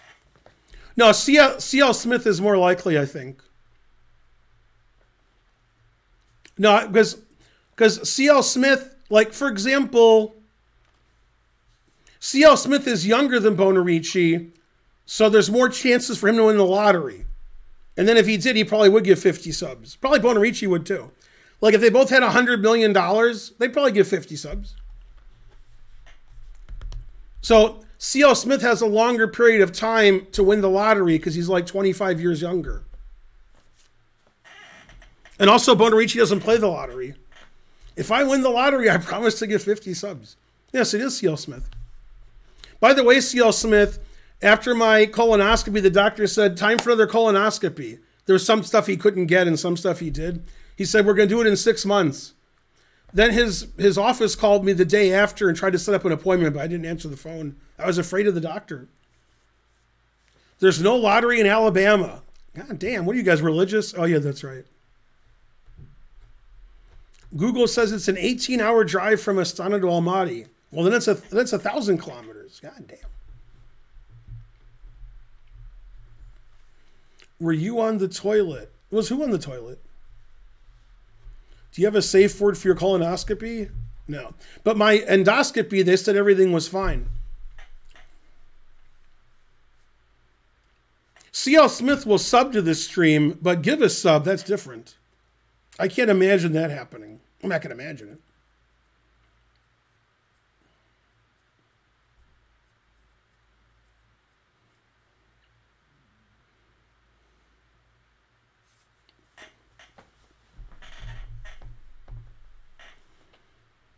Is there a method or principles to win? Yes.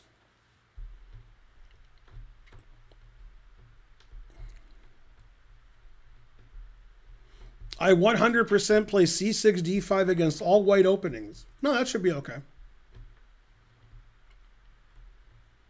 Yeah, you can do that. That's that's one of the safest things to do against if you're going to play the same two moves against anything. That's probably e6 and d5 is probably tied for it. I just had a colonoscopy. Well, I had one on Thursday, and then I streamed on Friday. And the doctor said my stream might not, you know, work out too well because of the colonoscopy. And I said, "Are we talking about chess here?" And he said, "What?" So I don't know. Yeah, we need She Jesus. We need Deuce nine one six to get his mom's credit card again. There's like three or four people who give fifty subs, but you know they don't do it every day because you know that's expensive. Also, Deuce nine one six gave hundred subs. God damn. Thanks, Wes.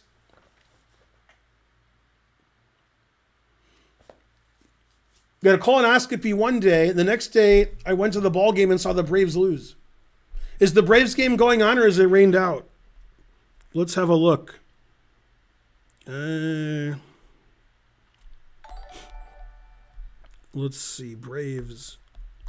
The stupid. Oh, they are playing. It's not rained out. It's 2 0 Padres. Man, so the Atlanta. This isn't a joke. Sounds like a joke. The Atlanta Braves starting pitcher yesterday, the game that Archer and I saw, he's already putting up in AAA. He's already been regu- relegated to AAA. Aplexion subscribed. Hooray. Yeah, I had a, a I had a prep that was like uh, GoLYTELY. It was called something else, but it had a similar name, like Go, Govi Light or something. Goki Light. It was the same thing. Yeah, it doesn't taste good. It doesn't, it doesn't taste good. The doctor said, this isn't a joke either, but it sounds terrible. I hope C.L. Smith is listening to this. This is my best chance to get 50 subs from CL Smith. He said, next time we do the colonoscopy, which he wants to do in six months, he wants me to fast for two days. He wants to do the prep for two days. What? Karen said she couldn't do one day. She said, There's no way I could do one day and not eat. He wants me to do the prep for two days next time. God damn.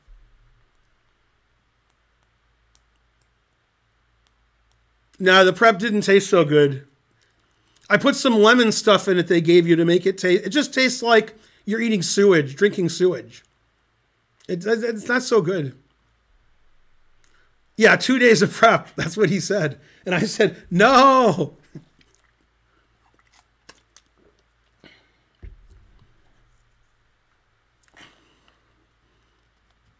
C.L. Smith is thinking, would I rather do two days of prep and two days of fasting or get 50 subs? Oh, snap.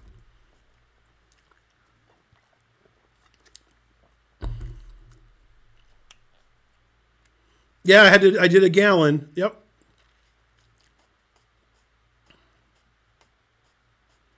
What did Thaddeus say? It's incorrect. Thaddeus is never incorrect. He must have been joking. Thaddeus, two days fasting isn't bad. Oh, yeah, he's incorrect about that. No, but for me, if you told me, if you said, okay, Ben, you can do two days of fasting and no prep, none of that garbage, or you, you can you drink the garbage, but you can eat all the time. I, I would fast for two days. I would not eat for two days. I don't like drinking that garbage. You got to drink 16 glasses. If you told me I had to drink 16 glasses two days, and then, you know, it makes you do stuff. The doing stuff I don't mind so much, but it just tastes terrible.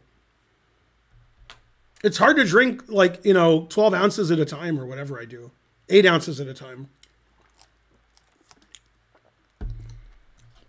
I remember a funny story I was playing a friend of mine one minute chess over the board.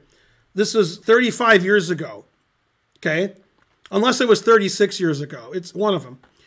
And I had a glass, uh, not a glass, but I mean, let's call it a glass.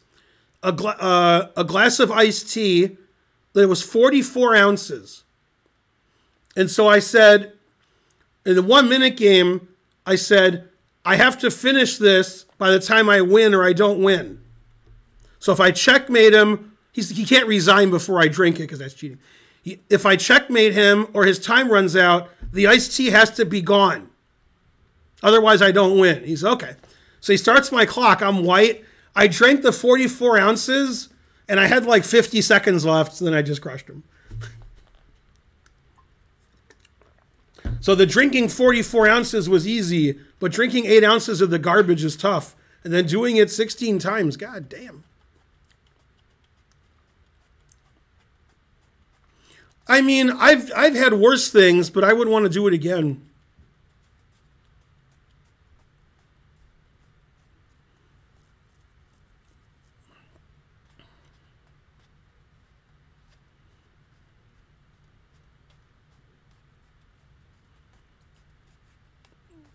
You didn't mind the taste of GoLYTELY? I mean, the doctor gives me what he gives me and says, you have to take this. They, they feel powerful.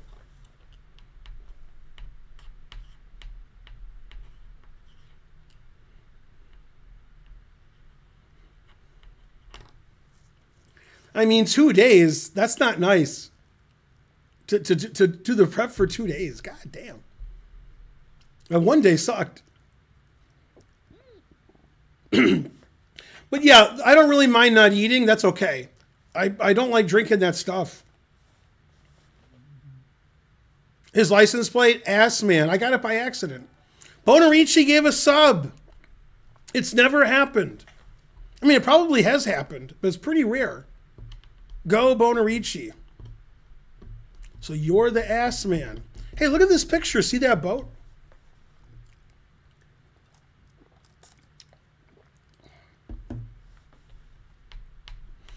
So I notice little things in TV shows that I watch that nobody notices or cares about. In Seinfeld, there's a guy who's in an episode for 10 seconds, and I thought he did a great job. He was great. and that's it. He's in the he's in the series for ten seconds. It's the episode where Jerry's trying to eat healthy and he's trying to eat salads and vegetables and so forth. And they go to this, he goes to this fancy restaurant with like Elaine's friend or cousin, sort of on a date, sort of. I don't know, maybe. And it's a it's a steakhouse, and the waiter comes, and the guy who plays the waiter is great. He's this big gruff guy, and he says, "What would you have?" And she's like, "I'll have the filet mignon, and I'll have this." And he's like, "What would you like?" And he's like, "Well, do you have anything lighter?" and he says, "We have this thing like turkey stuffed with chicken and ham." And he says, "Anything else?" He says, "Well, we." He says, and he says, "Well, I'll just have a salad." He goes, "Just a salad." Uh huh. That that guy who played the waiter, he was great. He should get more acting jobs. He's probably dead now, but but he was good. And don't forget it. Lawful Waffle knows what I'm talking about.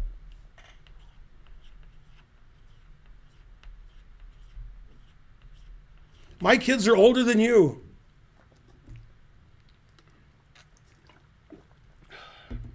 They took out some polyps, but there was one he said he couldn't get, so let's have another colonoscopy. And I said, thanks. By the way, when you have a colonoscopy, you're unconscious, so it's fine. They woke me up, they said my name, I woke up, I didn't know anything happened. And I didn't feel like tired or anything. I didn't feel like, oh, uh, uh, I'm groggy. I just felt normal. I could have streamed that night, but they told me not to. They said don't do anything, and I said, "Can I drive over the speed limit?" And they said, "No, don't don't do anything." Etc. I have two children, and Karen has two children. We're like the, half of the Brady Bunch over here, or two thirds of it. Yeah, Thaddeus is right. What was my biggest win? Well, when I was 340, I won a chess game, but that was pretty big. My biggest win, I mean, the best player I ever beat was Mamedyarov, but that was in a rapid game online. So, you know, that's not, you know, that's that's the best I can do is rapid online. The best slow game in a real game, I beat a lot of people who are in the 2600 FIDEs, but I've only played one person who was 2,700 FIDE when I played them. Because 20, 30, 40 years ago, nobody was 2,700 FIDE. And that was Jeffery Xiong, and he just beat me easily. But a lot of players in the 2600s FIDEs I've beaten, and they're all about the same strength. Joel Benjamin, Nick DeFermian, Jaan Ehlvest, Gregory Kaidanov, uh, Yermolinsky, uh, Ep- Epishin, Epishin,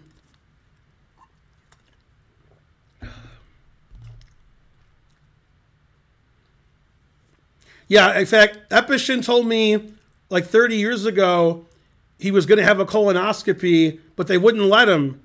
And he said, "Why can't I have a colonoscopy?" And he said, "If you have a colonoscopy, then you'll you'll you'll be a shitting and you're a pissing." So they wouldn't let him do it. And that's like half a joke.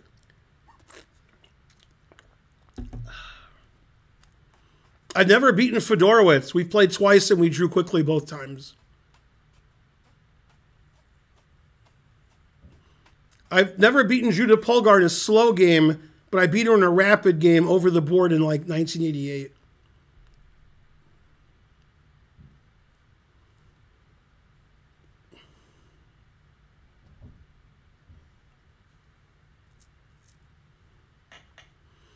It's not live. This is recorded, and I don't know whose turn it is.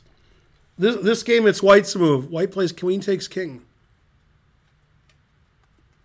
You want to see my game with Gelfand? Oh, snap. Nobody wants to see my game with Gelfand.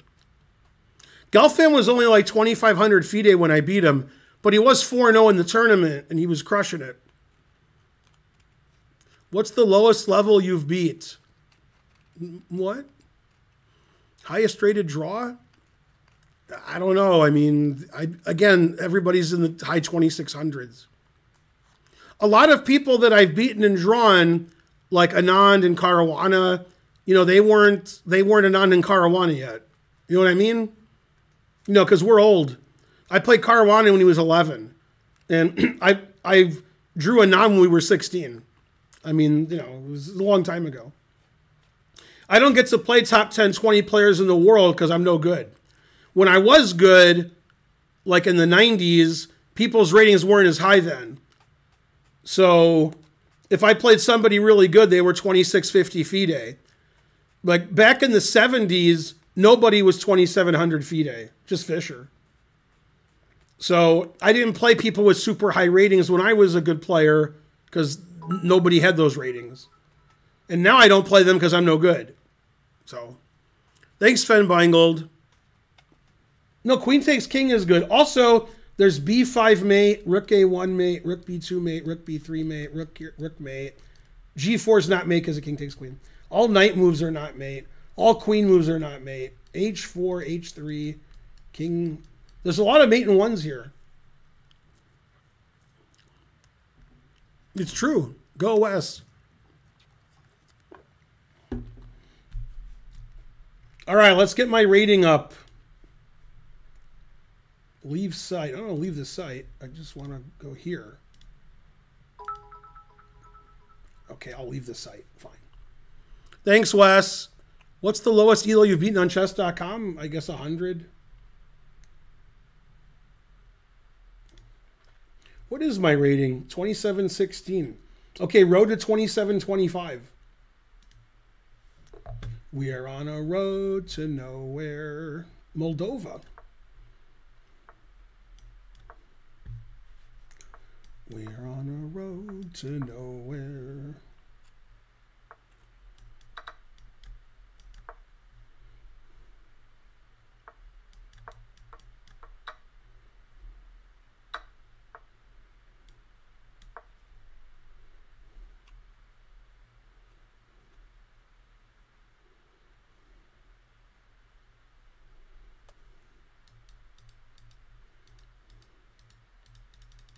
We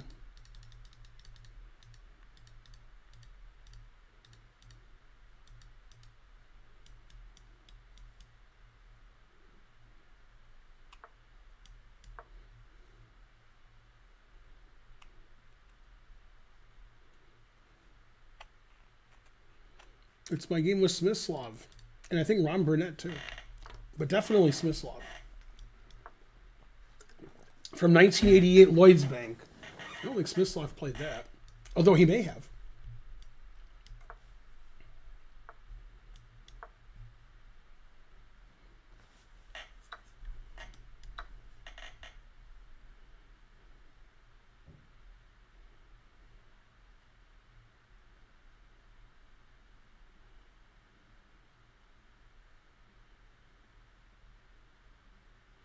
I didn't lose on time yet. Hey, if I win this game on 27 25, I made the road to 27 25 in one game if I win. Hooray. Go, Ben.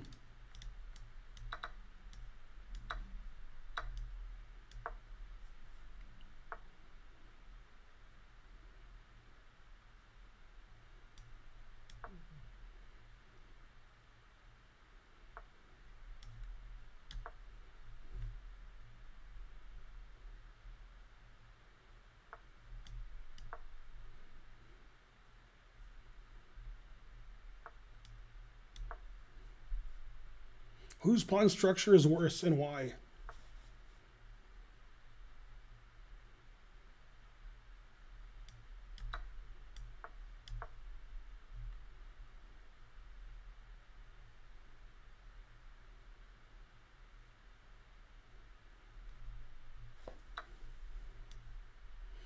Gonna have an extra minute.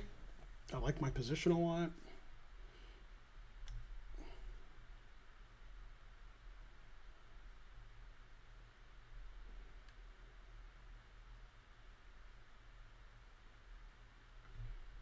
Let's see. Takes.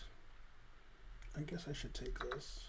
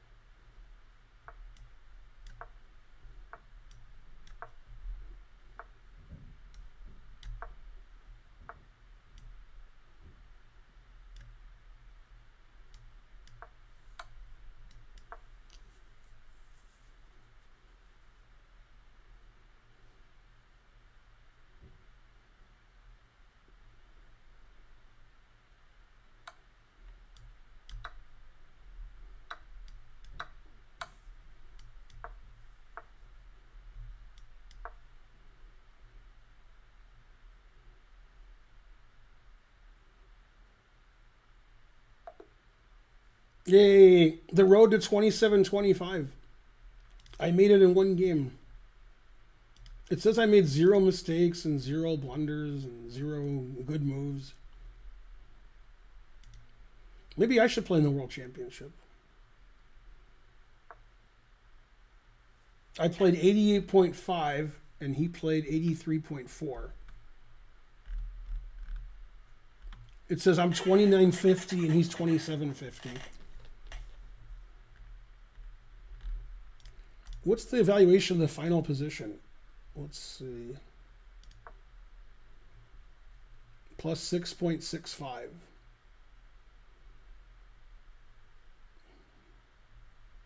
That's a good evaluation. Is this winning or does f5 check draw? I think king f4 is the draw. No, this is a draw. That's what I thought. I think it's winning if it's my move. I think this is winning. Yeah, this is winning. But if it's king's here and he plays f5, it's a draw. Yeah, if he plays here to play f5, I win with this.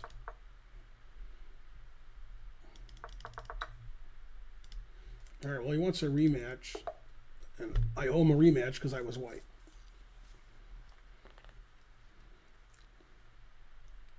I guess he forgot he wanted a rematch.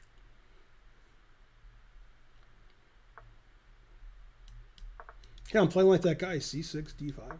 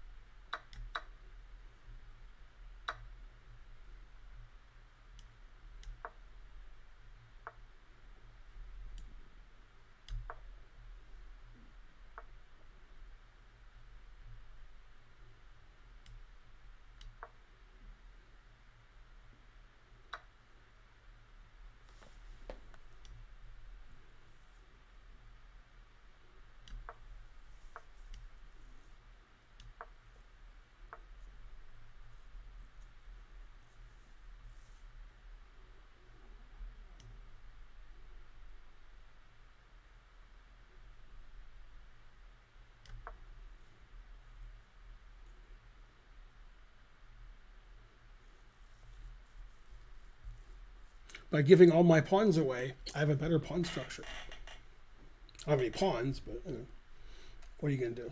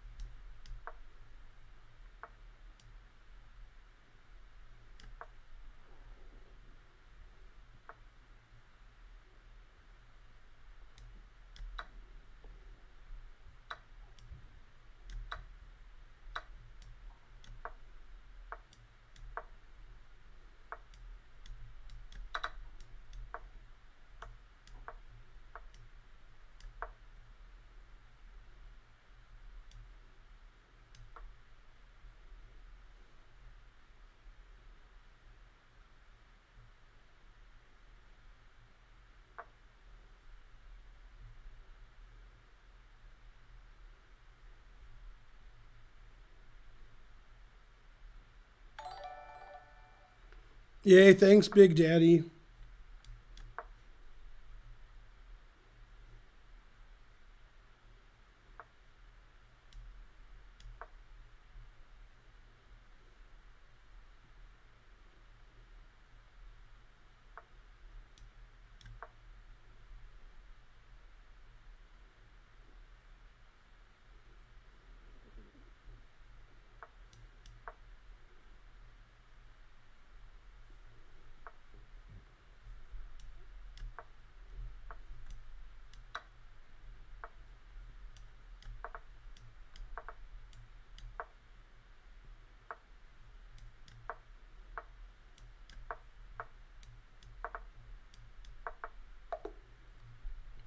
Yay.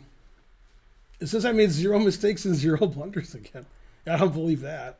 I'm sure I was lost. That's better than I played a couple days ago, or three days ago, whenever I lost all my games.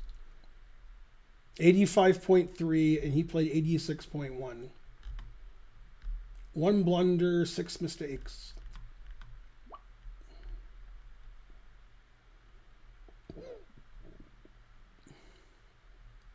A5 double question mark. Isn't this a dead draw? says I'm 2850 and he's 2900.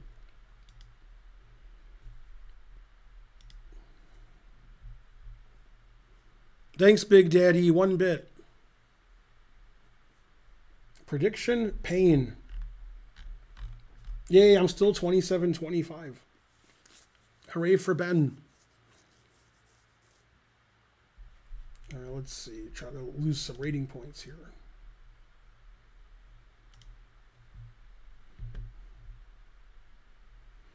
Yeah, I went from like 2785 to 2715 in one stream. Although the first guy I accused of cheating, but I never got any points back. So probably he wasn't cheating. Just way better than me. Everybody else who beat me I thought was fair and square. The first guy didn't feel right. The other people just felt like I play bad and I lose. We.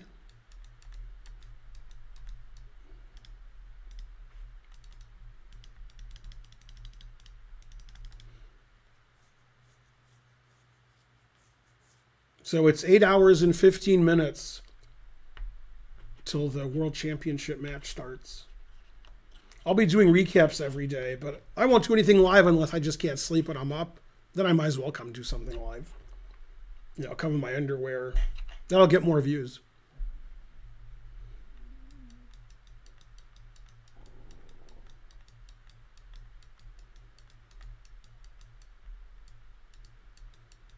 We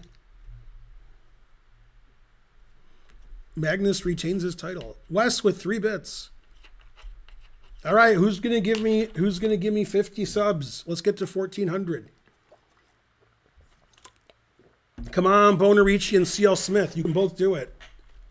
Me, me. Brazil, yeah. My chances of winning are one in a Brazilian.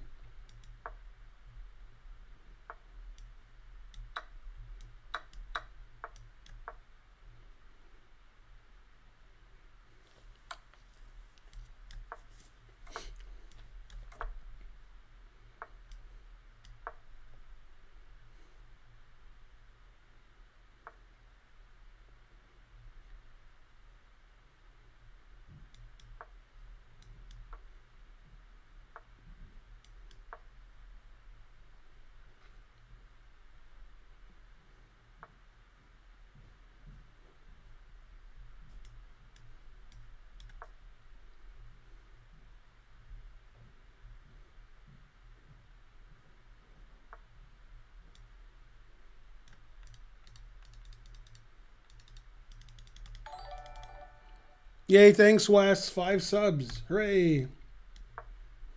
Go, Wes, young man. All right, we're only 91 subs away. G5 win a piece?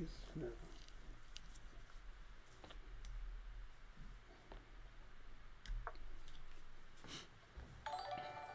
Yay, thanks, Wes. You're the best, Wes. Except for my friend Wes.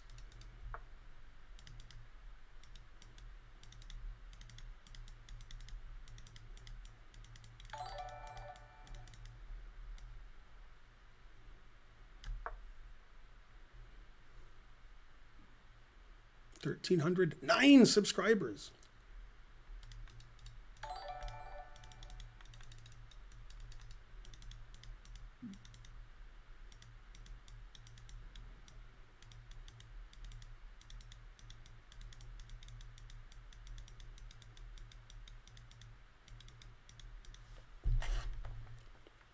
I wonder if Karen's watching.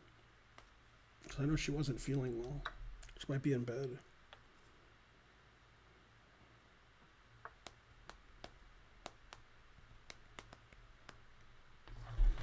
Let's see. Bishop there. Gotta move my queen. Guess there. Did I get mated yet? Not yet. Right. Trying to get mated by giving him such a good position, he has to think a long time to figure out how to maximize it. And then I went on time. I'm a genius. Unless I get crushed, which is likely. He's like F4 is good, FG is good. And then and then I went on time. Man, the truth hurts.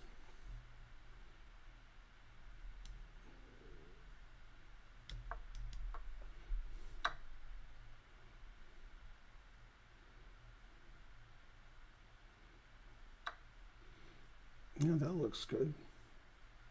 I just lose immediately? Damn. It's unfortunate.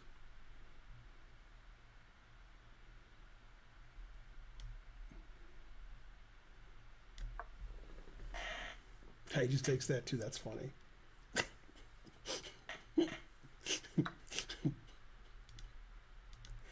Eh, I'm the best. Wow, I played really bad that game. That's how I played two, three days ago. Just lost without any fight.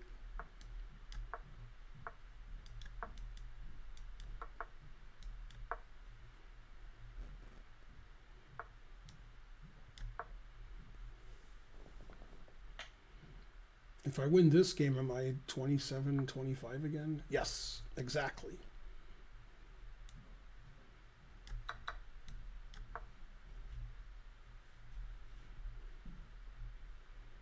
All right, play better this game and not so bad, etc. Man, this is like the game that I showed on stream today with Ding and Nepo. With the knight here and then here, and then he let him take it, so forth. They didn't take it. Although black lost that game. Darn.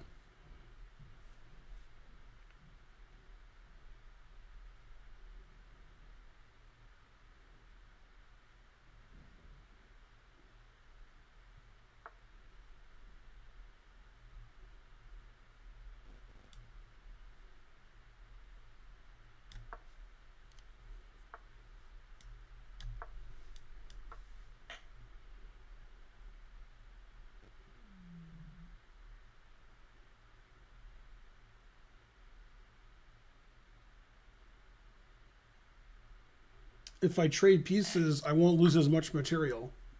I'll still lose material, but not as much because I traded everything. So that's good. I can't hang like a rook and a knight and a queen because I trade all the pieces. I'm only down a pawn. That's the most I could hope for. I get 30 seconds compensation. And I have more open files because I have no pawns. Yes. Brilliant strategy.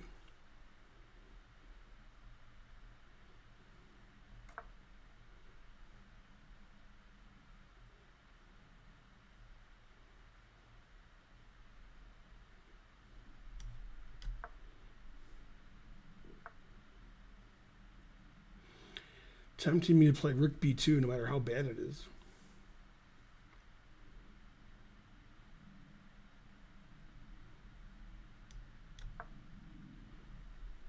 Was tempting though.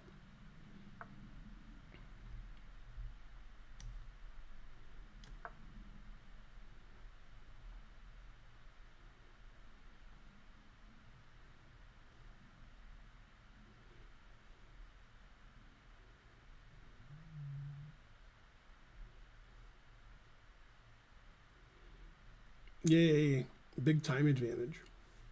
Only a pawn down.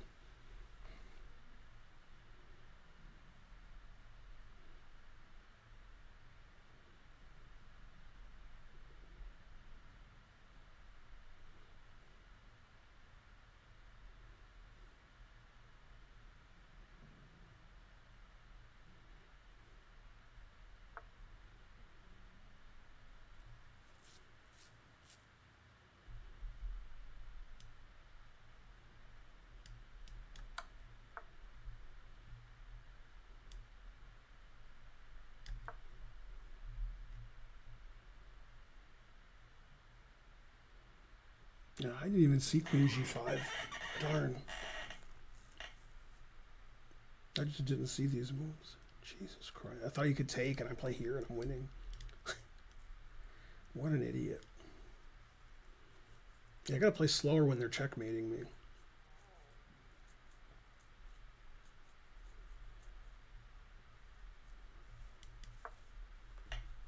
Never play f6.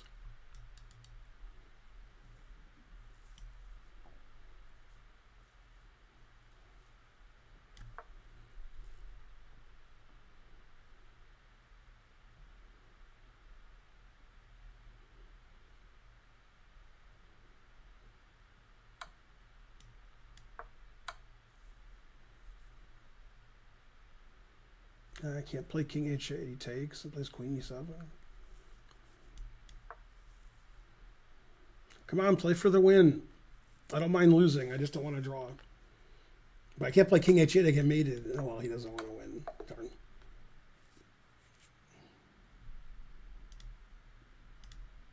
I don't blame him, because his time situation was bad.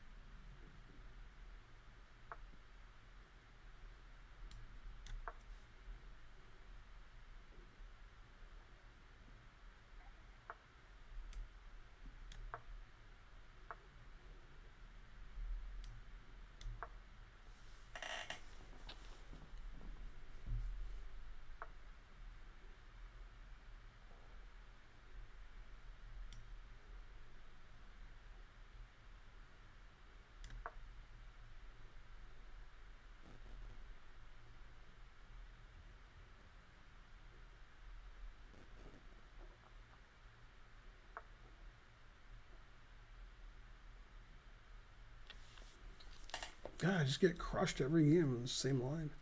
Always lost immediately. Damn.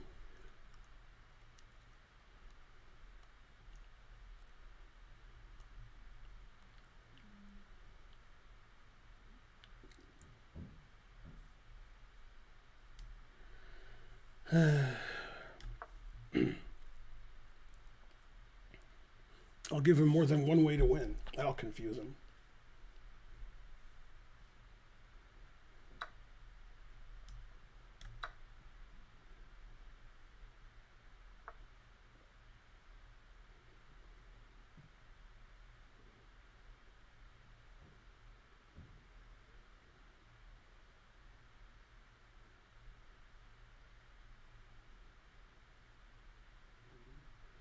That's so embarrassing.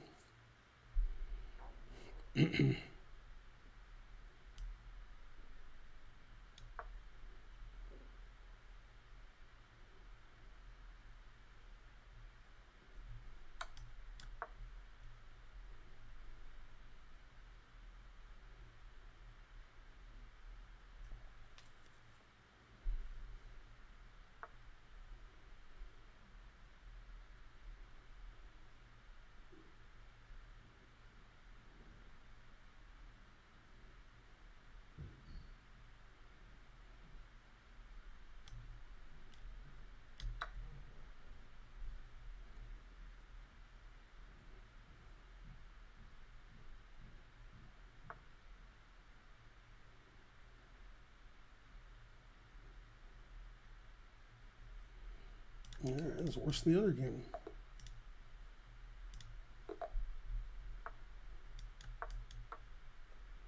Just like that guy, c6, then d5.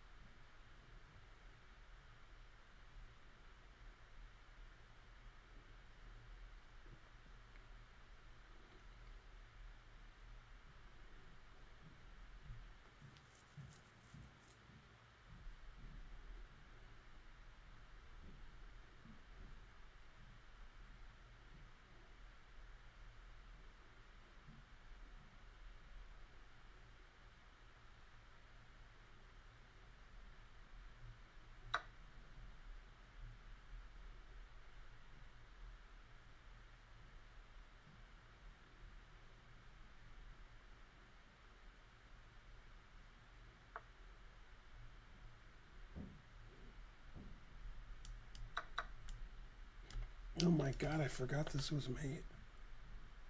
what an idiot. Ugh.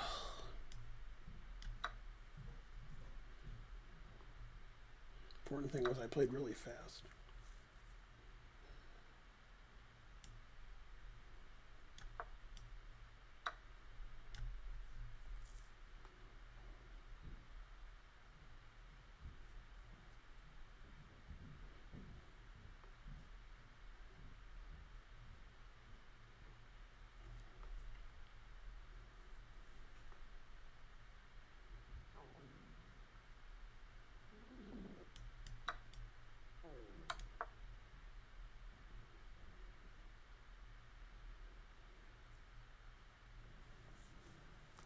Do I play so bad? I play better. Shouldn't be hard to play better. Can't play worse.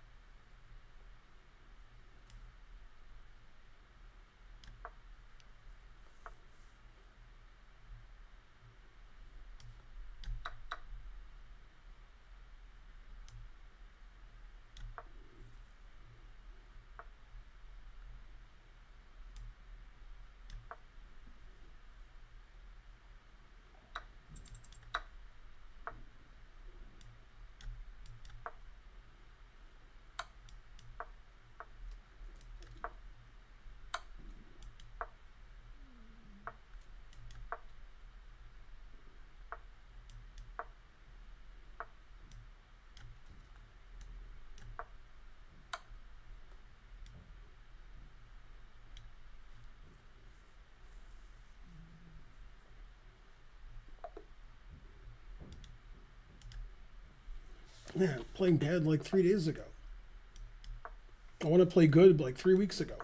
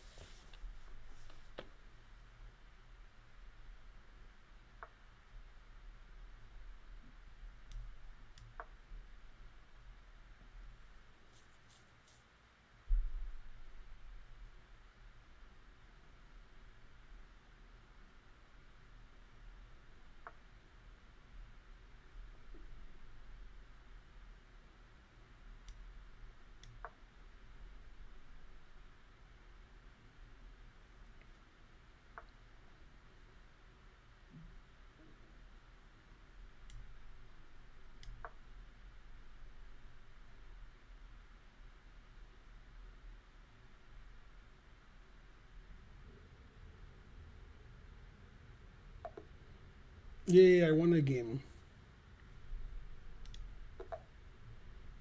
No, we're off Chess TV. Boo. All right, if I win this game, the stream's over. And then I'll see you guys tomorrow night for the recap of the match game.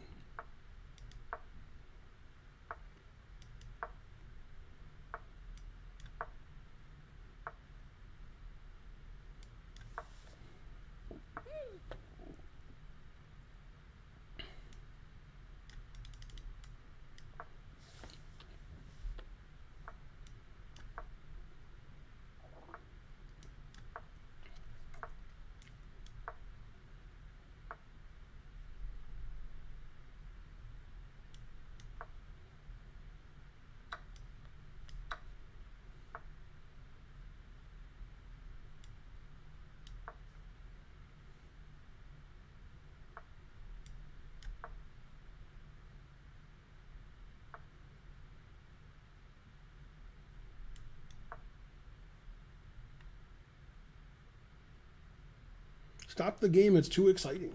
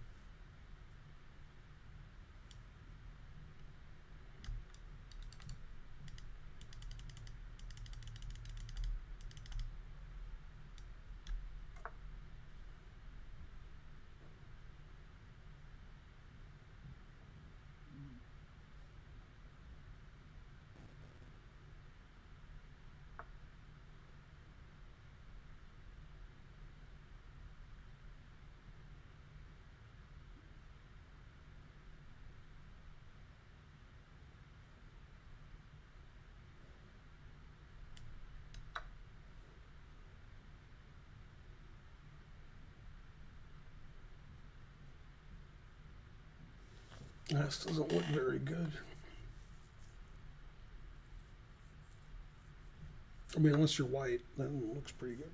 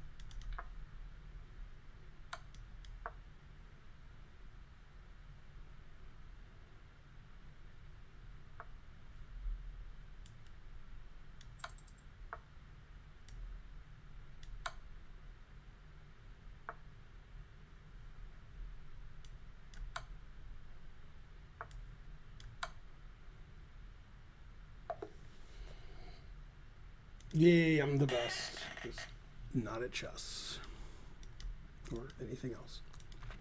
Thanks for watching, everybody. I hope you enjoyed the stream and so forth and enjoyed the games.